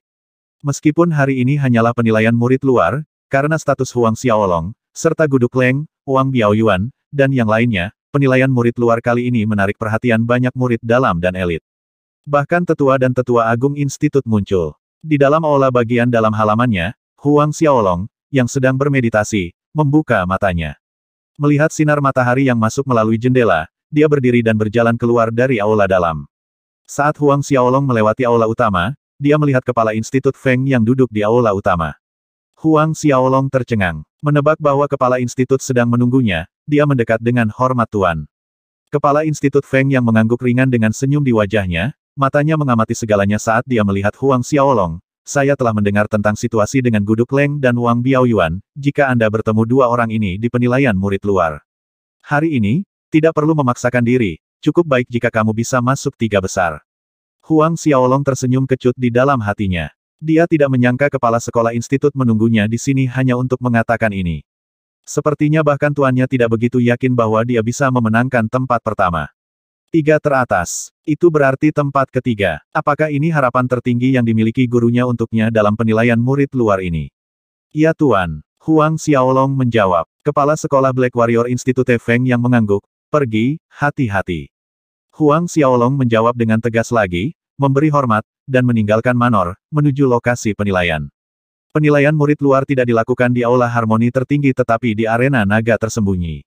Arena naga tersembunyi tidak begitu jauh dari Aula Harmoni tertinggi, itu dibangun di puncak gunung beberapa ribu li jauhnya dari itu. Tidak butuh banyak waktu bagi Huang Xiaolong untuk mencapai puncak di mana arena naga tersembunyi berada. Puncak gunung dipotong oleh para ahli Institut Prajurit Hitam menggunakan God Force dan arena naga tersembunyi dibangun di atas permukaan gunung yang datar. Arena besar ditempa dari inti batu yang sangat keras, ditinggikan setengah meter dari tanah, dan mampu menampung beberapa puluh ribu orang, sedangkan area di luar arena bisa memakan waktu hingga beberapa ratus ribu orang. Ini Huang Xiaolong. Kedatangan Huang Xiaolong langsung membuat heboh para penonton. Para murid yang telah tiba lebih awal semuanya menoleh untuk melihat Huang Xiaolong. Mengabaikan tatapan orang-orang ini, Huang Xiaolong turun di samping arena naga tersembunyi. Aku ingin tahu seberapa tinggi kekuatan Huang Xiaolong setelah tiga tahun. Aku berani bertaruh dia adalah puncak alam setengah dewa paling banyak. Tanpa kekayaan besar, tidak mungkin dia bisa menerobos ke alam dewa.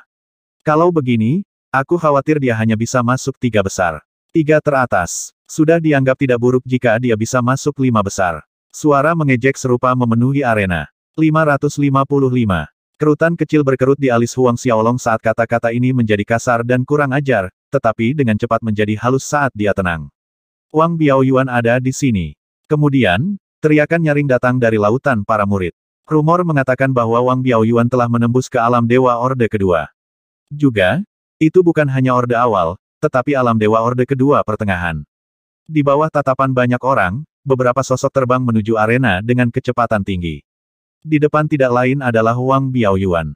Dibandingkan dengan tiga tahun lalu, aura dominan dari tubuh Wang Biaoyuan telah meningkat, dan pedang kuno yang sama tergantung di pinggangnya. Wang Biaoyuan turun dengan lembut ke tanah, matanya mengamati kerumunan dan dengan sangat cepat menemukan Huang Xiaolong, yang berdiri di samping panggung arena. Suhu di matanya turun saat dia mendekati Huang Xiaolong. Huang Xiaolong, di panggung arena naga tersembunyi, aku tidak akan menunjukkan belas kasihan. Berhenti tepat di depan Huang Xiaolong, Wang Biaoyuan menyatakan dengan dingin. Tiga tahun lalu, apa yang kamu berikan padaku, aku akan mengembalikannya seratus kali lipat kepadamu hari ini. Aku akan menginjak-injakmu dengan kejam. Ekspresi Huang Xiaolong acuh tak acuh, begitukah? Aku akan menunggu kalau begitu. Melihat ketidakpedulian di wajah Huang Xiaolong, kemarahan yang tak dapat dijelaskan melonjak di hati Wang Biaoyuan. Apakah orang menyebalkan ini tidak mengetahui kekuatannya saat ini? Selain itu, dia tidak percaya bahwa Huang Xiaolong dapat menerobos ke alam dewa hanya dalam tiga tahun. Menekan amarah di dalam hatinya dengan usaha, Wang Biaoyuan mengeluarkan dengusan menghina, Pang kecil, tunggu saja, aku akan melihat berapa lama kamu bisa menjaga kesombongan ini. Membuang kalimat ini, Wang Biaoyuan berbalik dan berjalan pergi. Beberapa saat kemudian, Guduk Leng tiba, menimbulkan keributan lagi di antara kerumunan. Namun, ketika Guduk Leng tiba, dia tidak mengatakan apa-apa saat melihat Huang Xiaolong, namun hasrat membara untuk pertempuran di matanya dirasakan oleh semua orang yang hadir. Setelah Guduk Leng, itu adalah Jiang Saus. Jiang Saus juga merupakan salah satu kandidat favorit untuk peringkat lima teratas untuk penilaian murid luar istilah ini. Tidak seperti Guduk Leng dan Wang Biaoyuan, kekuatan Jiang Saus tidak melonjak dan maju ke alam Dewa Orde kedua, namun, pada puncak alam Dewa Orde pertama, itu hanya setengah langkah lagi. Segera, Su Shaoxing dan yang lainnya juga mencapai arena. Kira-kira satu jam kemudian, ketika penilaian akan dimulai, penatua Zhang Tianchuan muncul di arena. Dia juga pengawas untuk penilaian murid luar istilah ini. Zhang Tianchuan mendarat dengan lembut di atas panggung, matanya yang tajam menyapu para murid yang berkumpul sebelum dia menjelaskan secara singkat aturan dan hadiah untuk penilaian kali ini. Institut Prajurit Hitam memiliki lebih dari 100 ribu murid luar, sehingga tidak setiap murid luar akan mengambil bagian dalam penilaian. Dalam setiap penilaian murid luar, Tetua Institut Prajurit Hitam akan memilih 100 murid luar terkuat untuk ambil bagian. Hanya 100 murid luar yang dipilih yang memenuhi syarat untuk berpartisipasi. Tentu saja, murid yang tidak puas dapat memilih untuk menantang murid mana pun dalam 100 yang dipilih. Jika penantang mengalahkan murid yang dipilih, penantang dapat mengambil tempat mereka, karenanya memenuhi syarat untuk berpartisipasi dalam penilaian. Guduk Leng, Wang Biaoyuan, Jiang Saus, Huang Xiaolong, Zhang Tianchuan membacakan daftar nama 100 murid luar yang dipilih istilah ini. Semua orang hanya bisa menebak apakah Institut Prajurit Hitam disengaja dalam daftar nama mereka, memiliki Guduk Leng di tempat pertama, Wang Biaoyuan kedua, Jiang Saus ketiga, dan Huang Xiaolong di tempat keempat. Adapun tempat kelima, itu adalah murid luar bernama Luokai. Luokai adalah juara dalam pemilihan murid tiga periode sebelumnya. Seratus nama tidak butuh waktu lama bagi Zhang Tianchuan untuk mengumumkannya. Apakah ada murid yang ingin mengeluarkan tantangan? Setelah dia selesai membaca daftar nama, Zhang Tianchuan melihat sekeliling arena dan bertanya. Kamu bisa mengeluarkan tantanganmu sekarang. Jika tidak ada murid yang mengeluarkan tantangan apa pun, maka 100 murid yang dipilih akan tetap tidak berubah. Beberapa detik setelah suara Zhang Tianchuan jatuh, seorang murid telah menyatakan tantangannya. Liu Xicheng menantang Meng Ping. Seorang pemuda tinggi kekar melompat ke arena naga tersembunyi. Kemudian, Sosok dengan perawakan kecil melayang di panggung arena juga, murid luar yang tertantang, Meng Ping. Setelah saling memberi hormat seperti biasa, kedua murid memulai pertempuran mereka. Tetapi tidak butuh waktu lama bagi murid penantang, Liu Xicheng untuk dikalahkan, jatuh dari panggung arena dalam keadaan menyesal. Banyak tantangan terjadi setelah itu. Beberapa berhasil, tetapi kebanyakan murid gagal. Sedikit lebih dari satu jam kemudian, melihat bahwa tidak ada lagi murid yang ingin menantang, dia berbicara, sekarang saya akan membacakan 10 murid luar teratas yang dipilih untuk penilaian ini. Guduk Leng, Wang Biaoyuan, Jiang Saus, Huang Xiaolong, Luo Kai, Long Junfei, Su Guo, Su Shaoxing, Wu Xiaoxi, Yang Yue. Zhang Tianchuan berhenti sejenak sebelum bertanya, dalam 100 murid, apakah ada yang ingin menantang 10 besar? Sekali lagi, jika tidak ada tantangan yang dikeluarkan, peringkatnya akan tetap sama, dengan Huang Xiaolong di tempat keempat. Tentu saja, tidak setiap murid memenuhi syarat untuk menantang sepuluh besar, hanya mereka yang berada dalam seratus nama yang memenuhi syarat. Pertanyaan Zhang Tianchuan disambut dengan arena yang sunyi. Yang ini Xiening, aku ingin menantang Huang Xiaolong. Tiba-tiba, sesosok melompat keluar, mendarat di panggung arena. Itu adalah pria parubaya tinggi kurus dengan wajah tanpa janggut dan sepasang mata kecil. Kerumunan arena tercengang dan kemudian pecah menjadi gempar. Sebenarnya ada seseorang yang ingin menantang Huang Xiaolong. Dan itu adalah pemenang pertama dari penilaian pemilihan murid baru dua periode sebelumnya, Xi Ening. Sebenarnya, Xi Ening ini seharusnya menjadi salah satu dari sepuluh besar yang dipilih, tapi sayangnya, namanya tidak ada dalam daftar terakhir. Karena itu, dia hanya bisa menantang untuk mendapatkan tempat. Namun, tantangan ini tidak terduga untuk semua orang, peristiwa tak terduga yang sangat mendebarkan. Huang Xiaolong memenangkan pemilihan murid baru tiga tahun lalu dan dikenal karena bakatnya yang mengerikan. Menilai berdasarkan bakat saja, dia bisa dianggap sebagai orang pertama dalam 10 juta tahun. Selain itu, Huang Xiaolong memegang identitas sebagai salah satu murid kepala sekolah institut. Karena itu, dalam tiga tahun terakhir, dia menjadi topik diskusi yang konstan bagi banyak orang. Huang Xiaolong tidak menonjolkan diri dalam tiga tahun terakhir, mengasingkan diri dalam praktik tertutup di rumah kepala sekolah institut, tidak ada yang bisa menentukan kekuatannya yang sebenarnya. Meskipun sebagian besar orang berasumsi bahwa Huang Xiaolong hanya bisa mencapai puncak setengah langkah alam dewa, sejumlah kecil merasa bahwa ia mungkin telah menembus alam dewa dengan mengandalkan bakatnya. Kerumunan memanas saat mereka menantikan pertempuran tantangan yang akan datang. Tatapan mereka tertuju pada Huang Xiaolong. Bahkan Zhang Tianchuan tidak bisa menahan diri untuk tidak melirik ke arah Huang Xiaolong. Tiga tahun telah berlalu, dia juga sangat ingin tahu tentang kekuatan Huang Xiaolong saat ini. Wang Biaoyuan, Guduk Leng, Jiang Saus, dan yang lainnya juga memandang Huang Xiaolong. Seolah-olah dia tidak memperhatikan banyak tatapan kuat yang tertuju padanya, dengan wajah tenang dan sedikit gerakan, semua orang hanya merasakan kilatan kabur di depan mata mereka dan Huang Xiaolong sudah berdiri di panggung arena naga tersembunyi, di depan penantang. Murid Xiening, Wang Biaoyuan, Guduk Leng, dan banyak mata lainnya menyipit.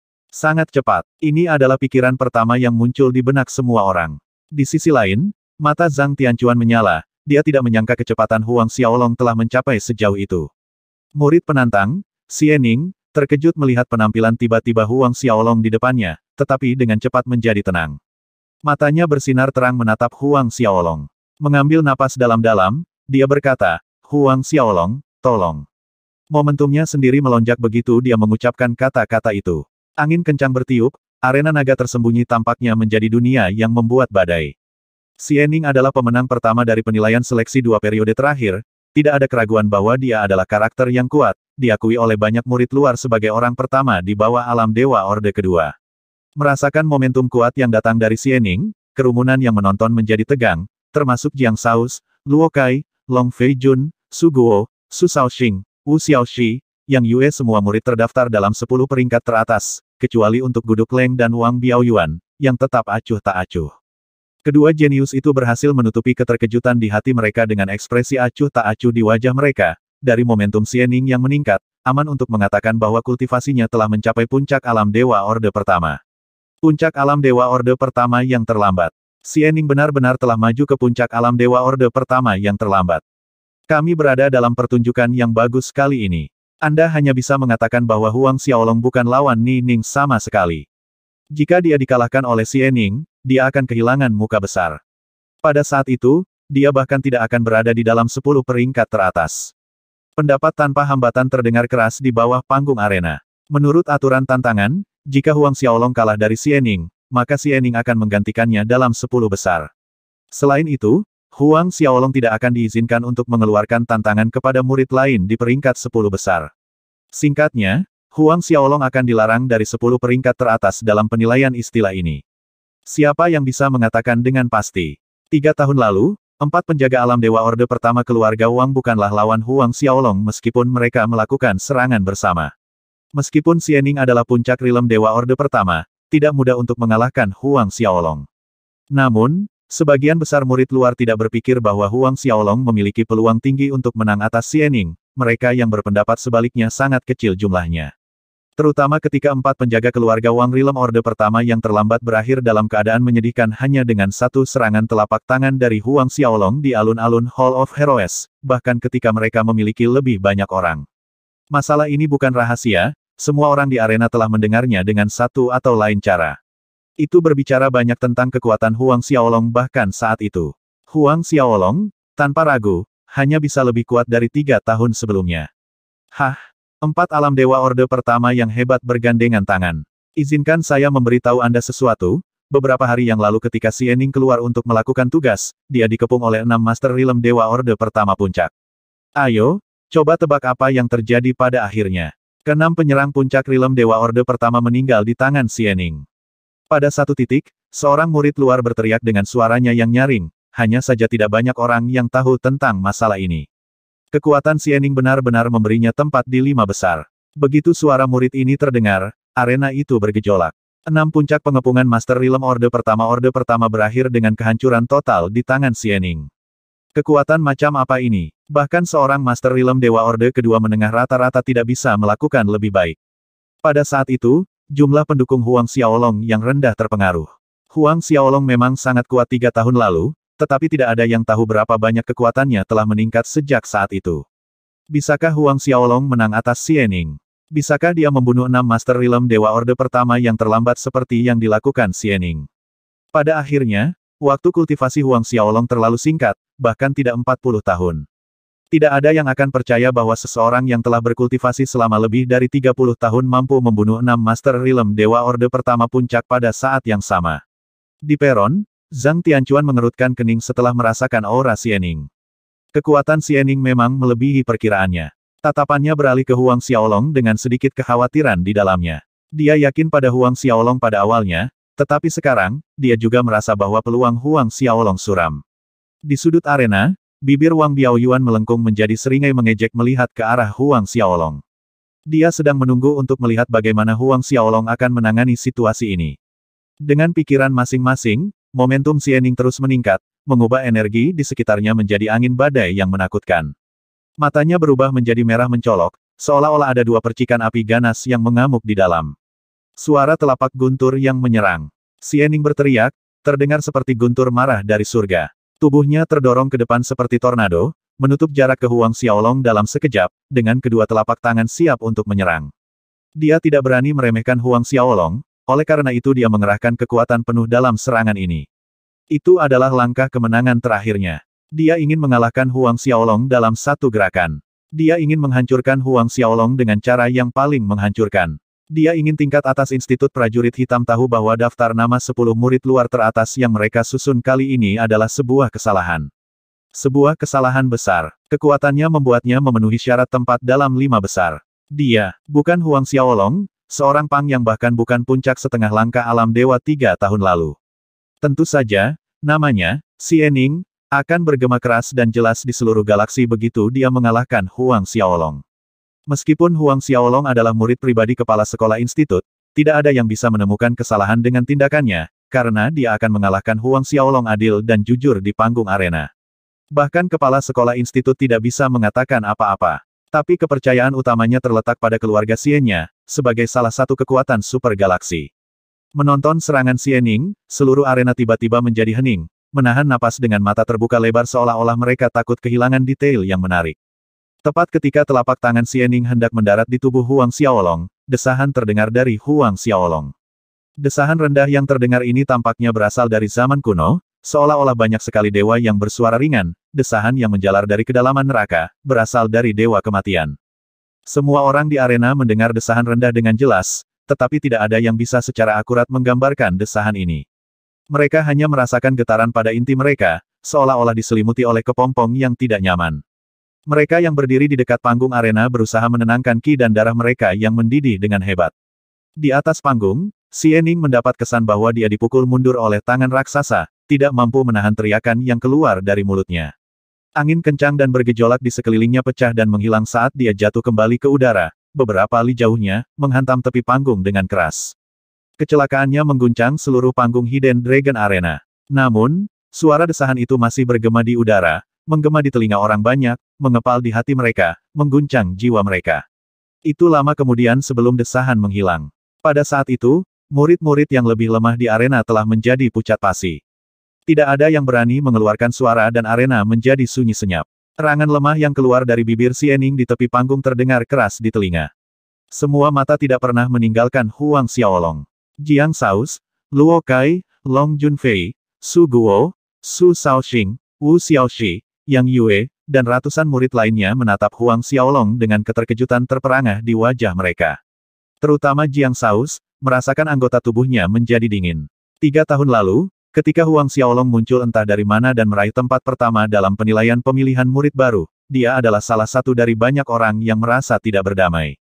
Beberapa saat yang lalu, dia masih memikirkan cara untuk menguji kekuatan Huang Xiaolong. Tapi sekarang, desahan yang terdengar rendah mengalahkan puncak akhir alam Dewa Orde pertama Xiening. Ini bahkan lebih mengerikan daripada serangan telapak tangan tunggal yang mengalahkan empat tuan keluarga Wang. Tidak ada yang mengeluarkan suara, bahkan Guduk Leng atau Wang Biaoyuan. Namun, sorot mata mereka dengan jelas memperlihatkan ombak besar yang menerjang di hati mereka. Ya, mereka sedikit ketakutan. Di peron, kelopak mata Zhang Tianchuan berkedut dalam momentum besar. Dia hanya dibiarkan tercengang. Dia tahu, desahan Huang Xiaolong sebenarnya mengandung keterampilan pertempuran berbasis suara yang misterius, tetapi meskipun demikian, dia tidak bisa menentukan kekuatan sebenarnya dari Huang Xiaolong. Sebuah mahakarya jenius. Kata-kata ini muncul di benaknya. Seperti biasa, Huang Xiaolong mengabaikan semua ekspresi terkejut yang diarahkan padanya. Mengambil pandangannya dari tubuh Xiening, dia melihat ke tempat seratus murid berdiri. Ada lagi yang mau menantang. Menjadi sasaran tatapan Huang Xiaolong, para murid mundur selangkah demi selangkah agar Huang Xiaolong tidak salah paham. Xiening memintanya. Mereka memohon untuk berbeda. Pada akhirnya, tidak ada yang cukup berani untuk menantang Huang Xiaolong lagi. Tempat Huang Xiaolong dalam 10 peringkat teratas ditetapkan di atas batu. Namun, fakta bahwa tidak ada yang berani menantang Huang Xiaolong tidak berarti bahwa tidak ada yang berani menantang 9 dari 10 murid teratas lainnya. Deng Lei ingin menantang Yang Yue. Seorang murid penantang bernama Deng Lei naik ke atas panggung, menantang salah satu dari 10 besar, Yang Yue. Tantangan baru ini menimbulkan reaksi yang cukup besar dari kerumunan murid yang menyaksikan, karena Deng Lei memiliki reputasi karena kekuatannya, meskipun merupakan alam dewa orde pertama yang terlambat. Juga, dia berada di urutan kedua setelah Xiening dalam istilah sebelum penilaian pemilihan murid baru sebelumnya. Tak terduga untuk semua orang, Deng Lei juga gagal dalam tantangannya melawan Yang Yue. Tak perlu dikatakan, meskipun Yang Yue berhasil menangkis Deng Lei, kemenangannya tidak semudah yang dilakukan Huang Xiaolong. Dia adalah pertempuran sengit atas penantangnya sebelum keluar di atas. Setelah Deng Lei, lebih banyak penantang muncul untuk 10 murid peringkat teratas berturut-turut. Seperti Long Junfei, Su Guo, Su Shaoxing, Wu Xiaoxi, dan lainnya. Penantang Su Shaoxing berhasil, melemparkan Su Shaoxing dari 10 peringkat teratas. Dia digantikan oleh seorang murid bernama Fang Kun. Meskipun tantangan dikeluarkan satu demi satu, tidak ada yang berani mengarahkan tombak ke Guduk Leng atau Wang Biaoyuan. Lebih dari satu jam kemudian, daftar 10 nama teratas akhirnya ditentukan. Menurut aturan, setelah sepuluh besar ditentukan, selanjutnya datang pertempuran untuk tempat pertama. Sepuluh nama ini tidak diberi nama seperti sebelumnya. Sebagai gantinya, Guduk Leng, Wang Biaoyuan, Huang Xiaolong, dan sepuluh besar lainnya yang merasa memiliki kualifikasi untuk menempati posisi pertama harus naik ke atas panggung dan menerima tantangan dari sembilan orang yang tersisa. Tapi, tidak ada yang bergerak setelah Zhang Tianchuan selesai berbicara, dikelilingi oleh keheningan. Semua orang tahu bahwa menjadi yang pertama naik adalah pekerjaan tanpa pamrih, harus menerima tantangan ke sembilan orang. Sebuah cahaya berkedip di mata Guduk Leng tepat saat dia bersiap untuk naik ke panggung arena ketika sebuah bayangan melintas di depan matanya, mendarat di tengah panggung. Huang Xiaolong. Terengah-engah terdengar di sekitar. Ya, orang pertama yang naik ke panggung Hidden Dragon Arena adalah Huang Xiaolong. Menyaksikan sosok itu berdiri di tengah panggung, kebanyakan orang tertegun sejenak. Guduk Leng dan Wang Biaoyuan keduanya tidak terkecuali. Tidak ada yang berharap Huang Xiaolong bertindak begitu tegas, menunjukkan keunggulannya menjadi orang pertama yang naik, menantang kesembilan orang lainnya. Pang ini mengira dia nomor satu hanya karena dia menang atas Xiening. Wang Biaoyuan mencibir dalam hati, meskipun di luar harapannya dan kebanyakan orang bahwa Huang Xiaolong mampu mengalahkan Xiening, kemenangan itu tidak berarti apa-apa di mata Wang Biaoyuan. Dengan kekuatannya saat ini, dia bisa dengan mudah menghancurkan puncak alam Dewa Orde pertama seperti Xiening sampai mati dengan setengah gerakan. Kesenjangan antara Orde kedua dan Orde pertama adalah kutub yang terpisah. Mendarat di panggung Hidden Dragon Arena sambil mengabaikan bisikan dan ekspresi terkejut, Huang Xiaolong menyapu Guduk Leng dan Wang Biaoyuan, berbicara seolah-olah dia sedang berbicara tentang cuaca cerah, saya menyatakan diri saya sebagai pemegang tempat pertama, yang ingin menantang saya. Kerumunan yang bising terdiam mendengar kata-katanya dan fokusnya jatuh pada sembilan peringkat sepuluh teratas yang tersisa, terutama Guduk Leng dan Wang Biaoyuan. Bagaimana itu? Tidak ada yang berani datang. Setelah beberapa saat, melihat tidak ada yang bergerak, Huang Xiaolong dengan santai, menyenggol mereka. Kilatan tajam meledak di mata Wang Biaoyuan, tetapi ketika dia hendak melompat keluar, sebuah siluet telah mendarat di depan Huang Xiaolong. Luo Kai. Ketika semua orang melihat wajah penantang, kerumunan berteriak. Luo Kai tempat pertama dalam penilaian pemilihan murid baru tiga periode lalu, diakui bahwa kekuatannya membuatnya memenuhi syarat tempat dalam lima besar, tetapi mayoritas diam-diam merasa bahwa hanya Guduk Leng dan Wang Biaoyuan yang bisa menjadi lawan Huang Xiaolong. Luo Kai naik untuk menantang Huang Xiaolong, bukankah itu sama dengan mencari kematian? Melihat bahwa Luo Kai yang datang untuk menantangnya, Huang Xiaolong juga terkejut.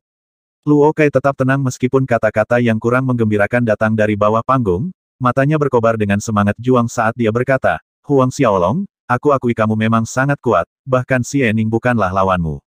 Tapi hari ini, aku akan melawanmu, dan mengalahkanmu. Sebuah momentum yang kuat meledak dari tubuh Luo Kai, menyamai nyala api di matanya. Saat momentum Luo Kai meningkat, seluruh panggung tampak bergetar di bawah tekanan. Ini membawa gelombang kejutan lain, karena alam Dewa Orde Kedua, ya ampun, Luo Kai benar-benar telah menembus alam Dewa Orde Kedua. Sok, tidak percaya, dan terkejut memenuhi arena. Mereka yang mengira Luo Kai hanya mencari kematian dalam menantang Huang Xiaolong terpaksa menelan kata-kata mereka. Setelah mencapai alam dewa, setiap kemajuan kecil itu sulit. Dengan setiap kemajuan, kekuatan seseorang akan berlipat ganda, dan dari puncak akhir orde pertama ke orde kedua itu lebih dari sekadar peningkatan kekuatan. Puncak akhir alam dewa orde pertama masih merupakan orde pertama, sedangkan orde kedua, bahkan Orde kedua awal saja, telah meninggalkan alam Dewa Orde pertama dalam debu. Huang Xiaolong mampu mengalahkan puncak terakhir Orde pertama Xiening, tetapi bisakah dia mengalahkan Luo Kei Orde kedua? Tidak ada yang bisa mengatakan dengan pasti.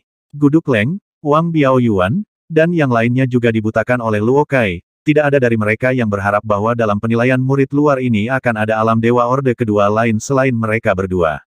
Luo Kai ini benar-benar bersembunyi terlalu dalam, menarik wall menutupi mata semua orang. Tidak heran dia berani menantang Huang Xiaolong. Di peron, kejutan berkedip di mata Zhang Tianchuan, Luo Kai ini telah menembus ke orde kedua. Berdiri di seberang Luo Kai, Huang Xiaolong tampak tidak terganggu oleh gelombang momentum yang dilepaskan oleh Luo Kai. Alam Dewa Orde Kedua, tidak heran dia begitu percaya diri, menyatakan bahwa dia akan mengalahkan Huang Xiaolong. Ketika aura Luo Kai naik ke puncak, itu berhenti. Merasakan perubahan pada murid-murid di sekitarnya, dia memandang Huang Xiaolong dan berkata, Huang Xiaolong, bergeraklah. Untuk menunjukkan rasa hormat saya kepada kepala sekolah institut, saya akan membiarkan Anda melakukan langkah pertama. Sedikit keangkuhan melintas di matanya.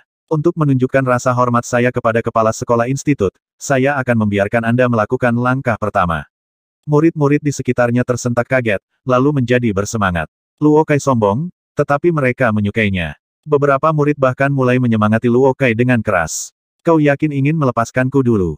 Huang Xiaolong bertanya dengan sedikit senyum ambigu tergantung di bibirnya. Betul sekali. Luo Kai mengangguk dengan percaya diri.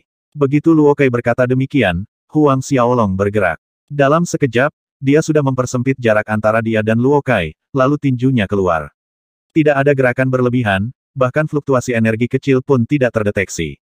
Luo Kai terkejut. Dalam kepanikan, dia mengangkat tinjunya sendiri untuk memenuhi tinju Huang Xiaolong yang mengakibatkan dua tinju bertabrakan.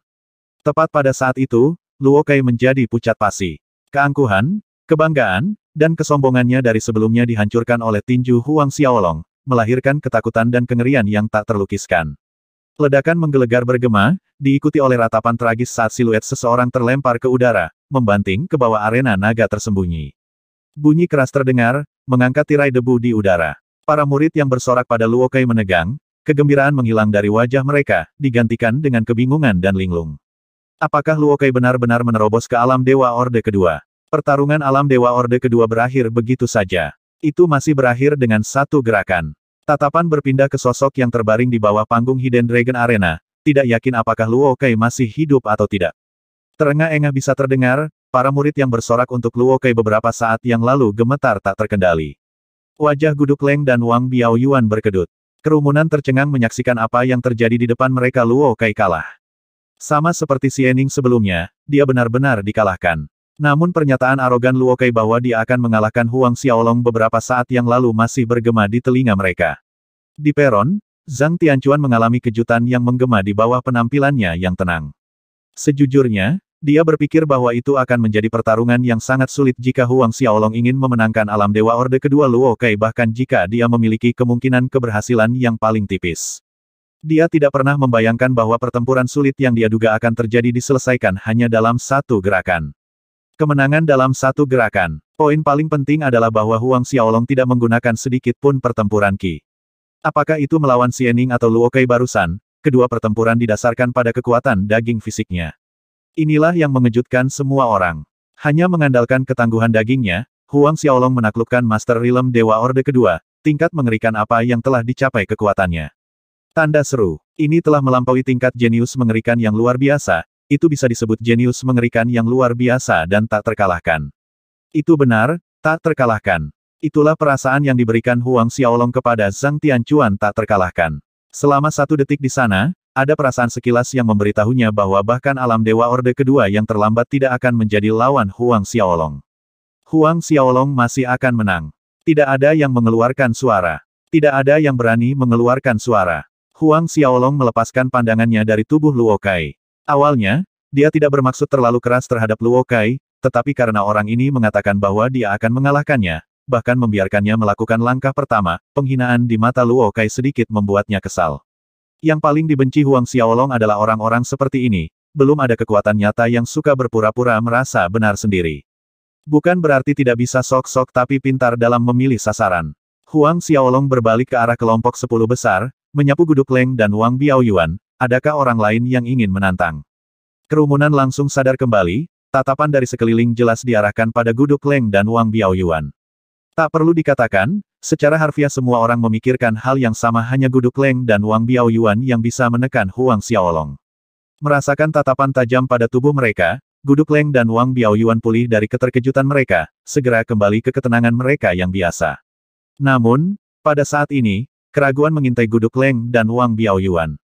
Jelas, tidak ada yang ingin menjadi penantang Huang Xiaolong berikutnya. Sementara keheningan canggung menggantung di udara, Wang Biaoyuan tiba-tiba melompat ke arena naga tersembunyi, mendarat di seberang Huang Xiaolong. Keheningan pecah saat kerumunan bersorak dengan antisipasi. Siapa yang belum pernah mendengar berita tentang kemajuan Wang Biaoyuan ke alam Dewa Orde kedua? Sebelum penilaian, semua orang mengira bahwa tempat pertama dalam penilaian kali ini adalah milik Wang Biaoyuan, tetapi sekarang, pertanyaannya adalah, dapatkah Huang Biaoyuan mengalahkan Huang Xiaolong dan merebut tempat pertama? Kerumunan mengarahkan pandangan mereka ke arena, memberi dua orang di atasnya perhatian penuh, tanpa berkedip. Huang Xiaolong memandang Wang Biaoyuan, berbicara dengan wajah tenang, kamu bukan lawanku, kamu dan Guduk Leng keduanya harus datang bersama. Begitu kata-kata Huang Xiaolong diucapkan, arena menjadi gempar. Apa yang dikatakan Huang Xiaolong?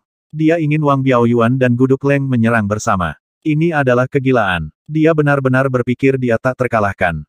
Reaksi pertama orang banyak adalah berteriak bahwa Huang Xiaolong melebih-lebihkan dirinya sendiri.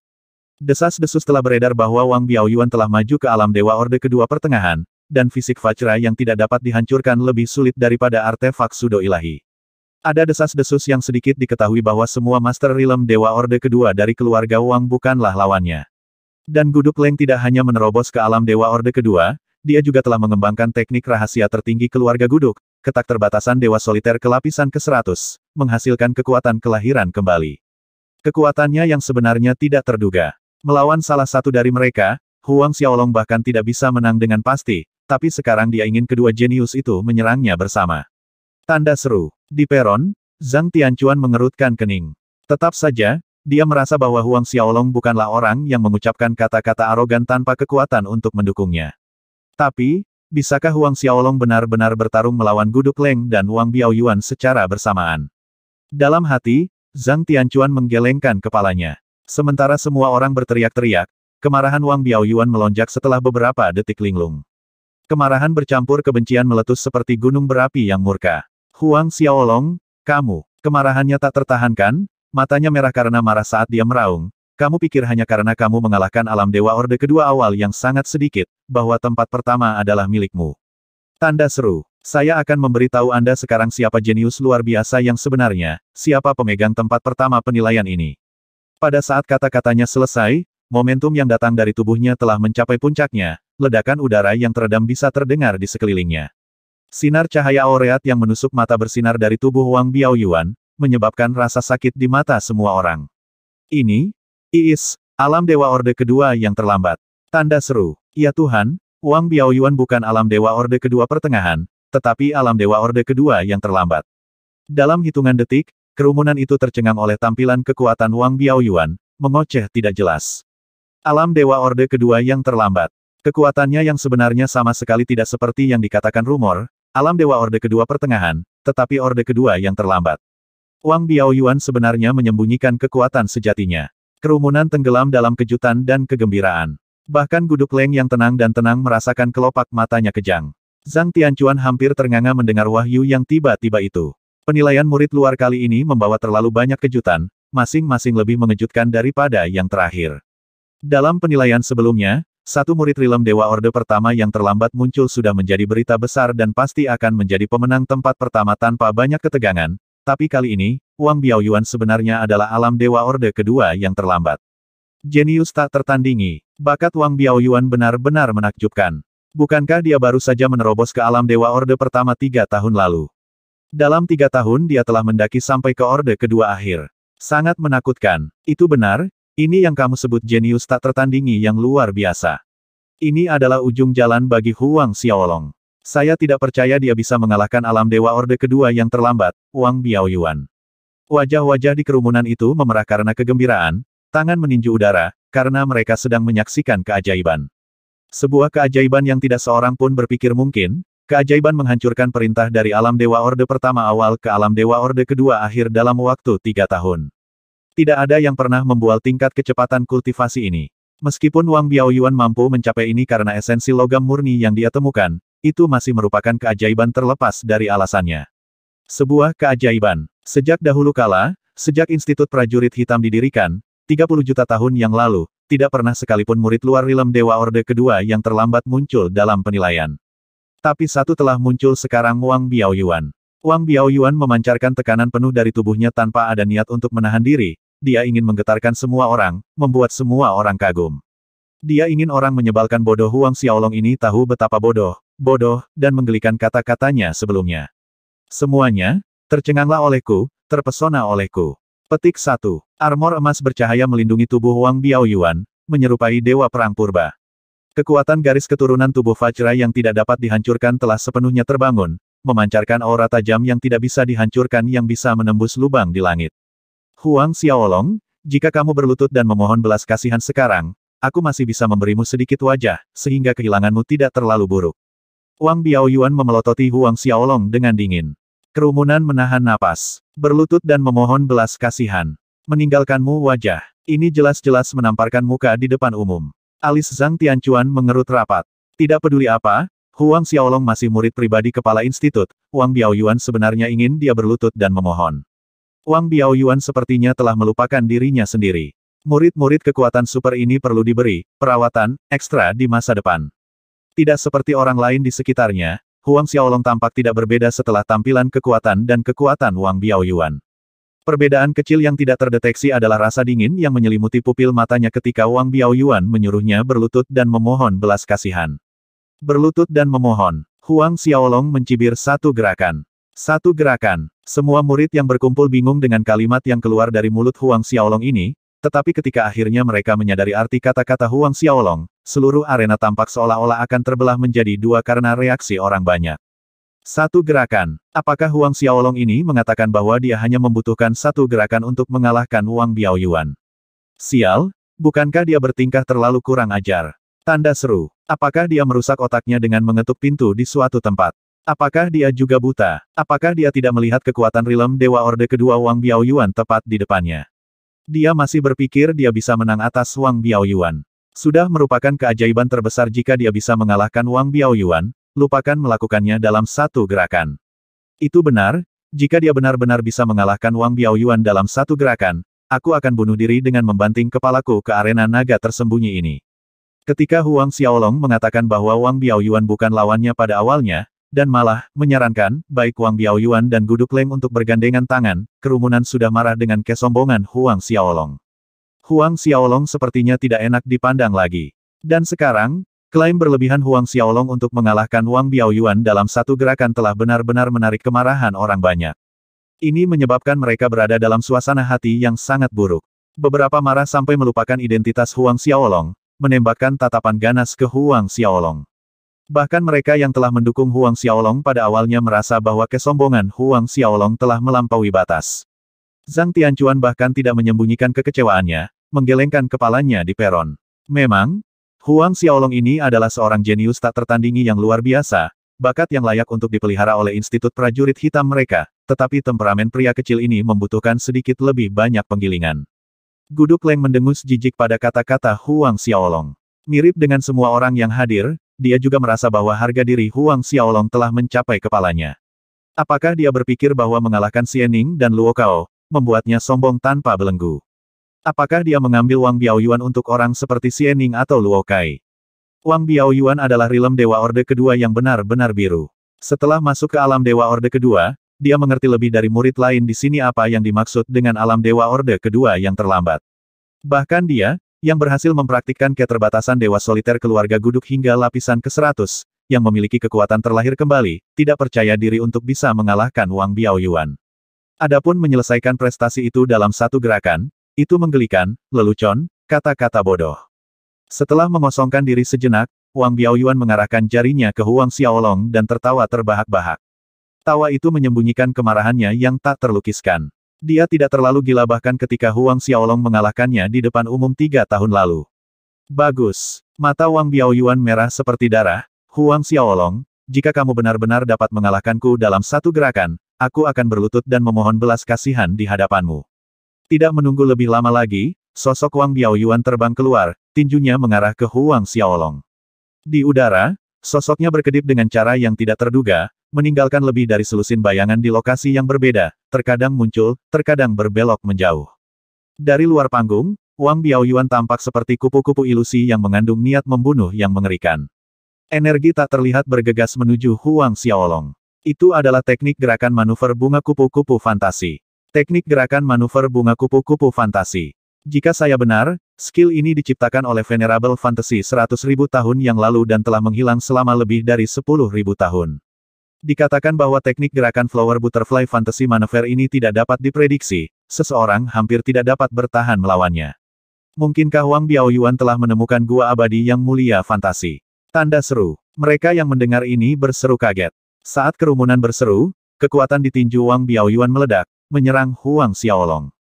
Tinju God King Raja Kebijaksanaan yang tak tergoyahkan. Tinju bersiul di udara, masing-masing diselimuti bola api menakutkan yang berdesir di angkasa. Pada titik ini, tinju Wang Biaoyuan bukan lagi tinju biasa, lebih seperti meteor bencana yang jatuh dari langit, membawa ekor api yang menghanguskan dan kekuatan penghancur yang mengerikan, memancarkan aura yang akan membunuh Tuhan jika Tuhan menghalangi, membunuh Buddha jika blok Buddha. Satu-satunya tujuan Wang Biaoyuan adalah meledakkan Huang Xiaolong menjadi jutaan keping dalam satu serangan. Kerutan Zhang Tianchuan semakin dalam saat dia melihat dari peron. Haruskah dia campur tangan? Jika serangan ini mengenai, Meskipun Huang Xiaolong tidak akan mati, dia akan menderita luka parah. Bagaimana dia harus menjelaskan kepada kepala sekolah institut itu? Selain itu, bahaya besar tidak boleh menimpa Huang Xiaolong. Namun, aturan melarang siapa pun untuk ikut campur. Sebagai pengawas penilaian babak ini, jika dia yang melanggar aturan, lalu. Sementara Zhang Tianchuan terjebak dalam dilema, tinju Wang Biaoyuan hanya berjarak beberapa meter dari Huang Xiaolong. Saat dia semakin dekat ke Huang Xiaolong, cahaya brutal berkedip di mata Wang Biaoyuan, Huang Xiaolong, pergi mati.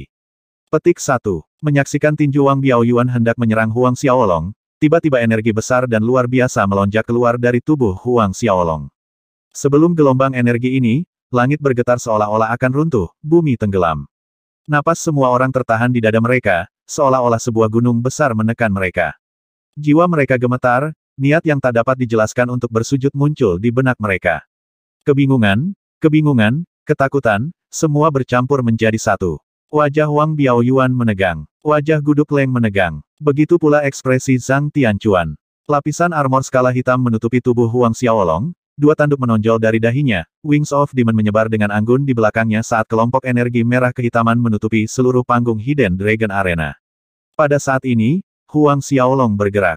Sayap setan mengepak, mengungkapkan simbol neraka emas yang mendalam di permukaannya. Wang Biaoyuan nyaris tidak melihat bayangan hitam buram ketika dua kepalan tangan hitam tumbuh lebih besar di pupilnya. Matanya membelalak kaget, lalu, bergemuruh. Sebuah ledakan memekakkan telinga yang tajam bergema, seolah-olah langit dan bumi terbelah menjadi dua. Tinju God King Raja Kebijaksanaan tak tergoyahkan bertabrakan dengan dua tinju hitam. Frekuensi tinggi menusuk gendang telinga Wang Biaoyuan, dan sebelum dia bisa bereaksi, kekuatan tirani yang luar biasa menabraknya seperti gelombang pasang raksasa. Pada saat ini, dia merasa bahwa dia tidak lebih dari kerikil yang jatuh ke laut yang luas. Kekuatan tirani itu langsung menghantam dadanya.